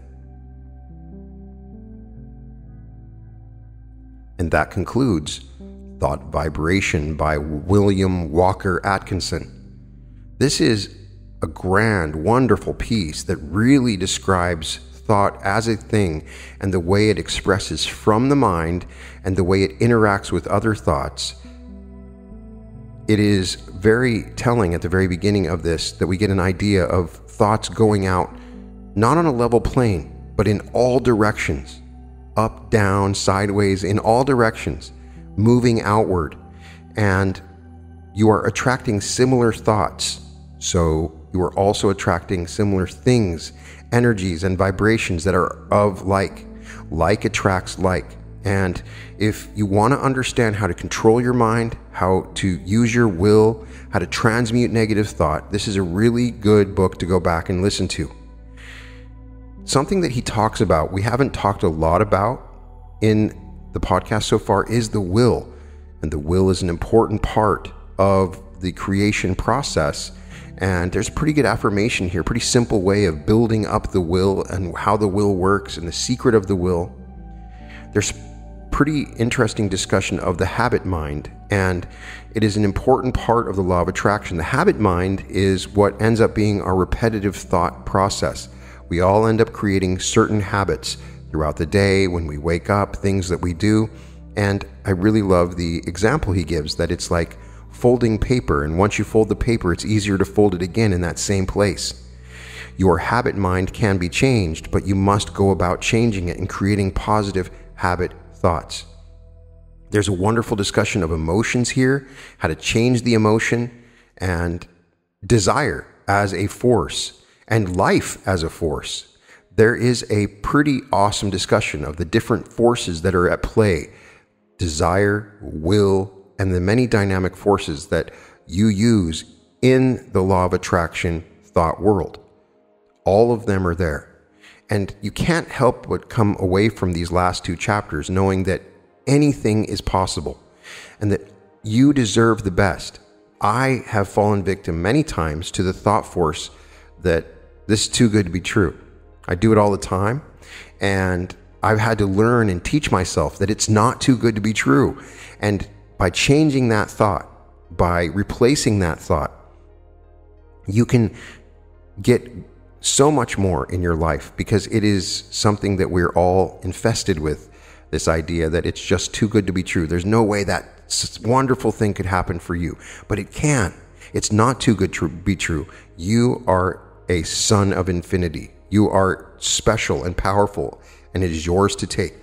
If you can concentrate on the positive thing that you want, using your life force, developing your intensity of desire, and he really, really pushes the idea that for you to have deep, intense desire for the thing that you want, you have to love it like a prisoner trying to escape from prison. You have to love it and deeply want it and focus on it and concentrate on it. And we have these forces that come along worry and fear that try to stop us from the thing that we want. And we have to replace those thoughts. We have to distract ourselves and immediately replace those thoughts with things that are the opposite and develop this desire and willpower and force of nature and concentration, putting our energy into it. As he explains, you can have energy, but it doesn't matter if you're distracting yourself and not focusing that energy and willpower towards what you want. Figure out what you want and desire and amp up that desire 100%.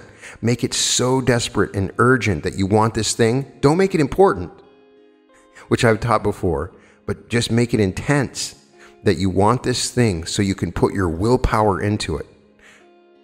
So you can do the things that you want to do. It's all possible to you if you follow these instructions. And if you come along and have emotions and negative thought processes, you can replace them. So go back and listen to this. If you have struggles with negative thought patterns or your desires aren't strong enough or your willpower is not strong enough, and there's some really basic and simple ways of learning these processes so that you can overcome them. You can find all episodes of The Reality Revolution at therealityrevolution.com. And welcome to the Reality Revolution.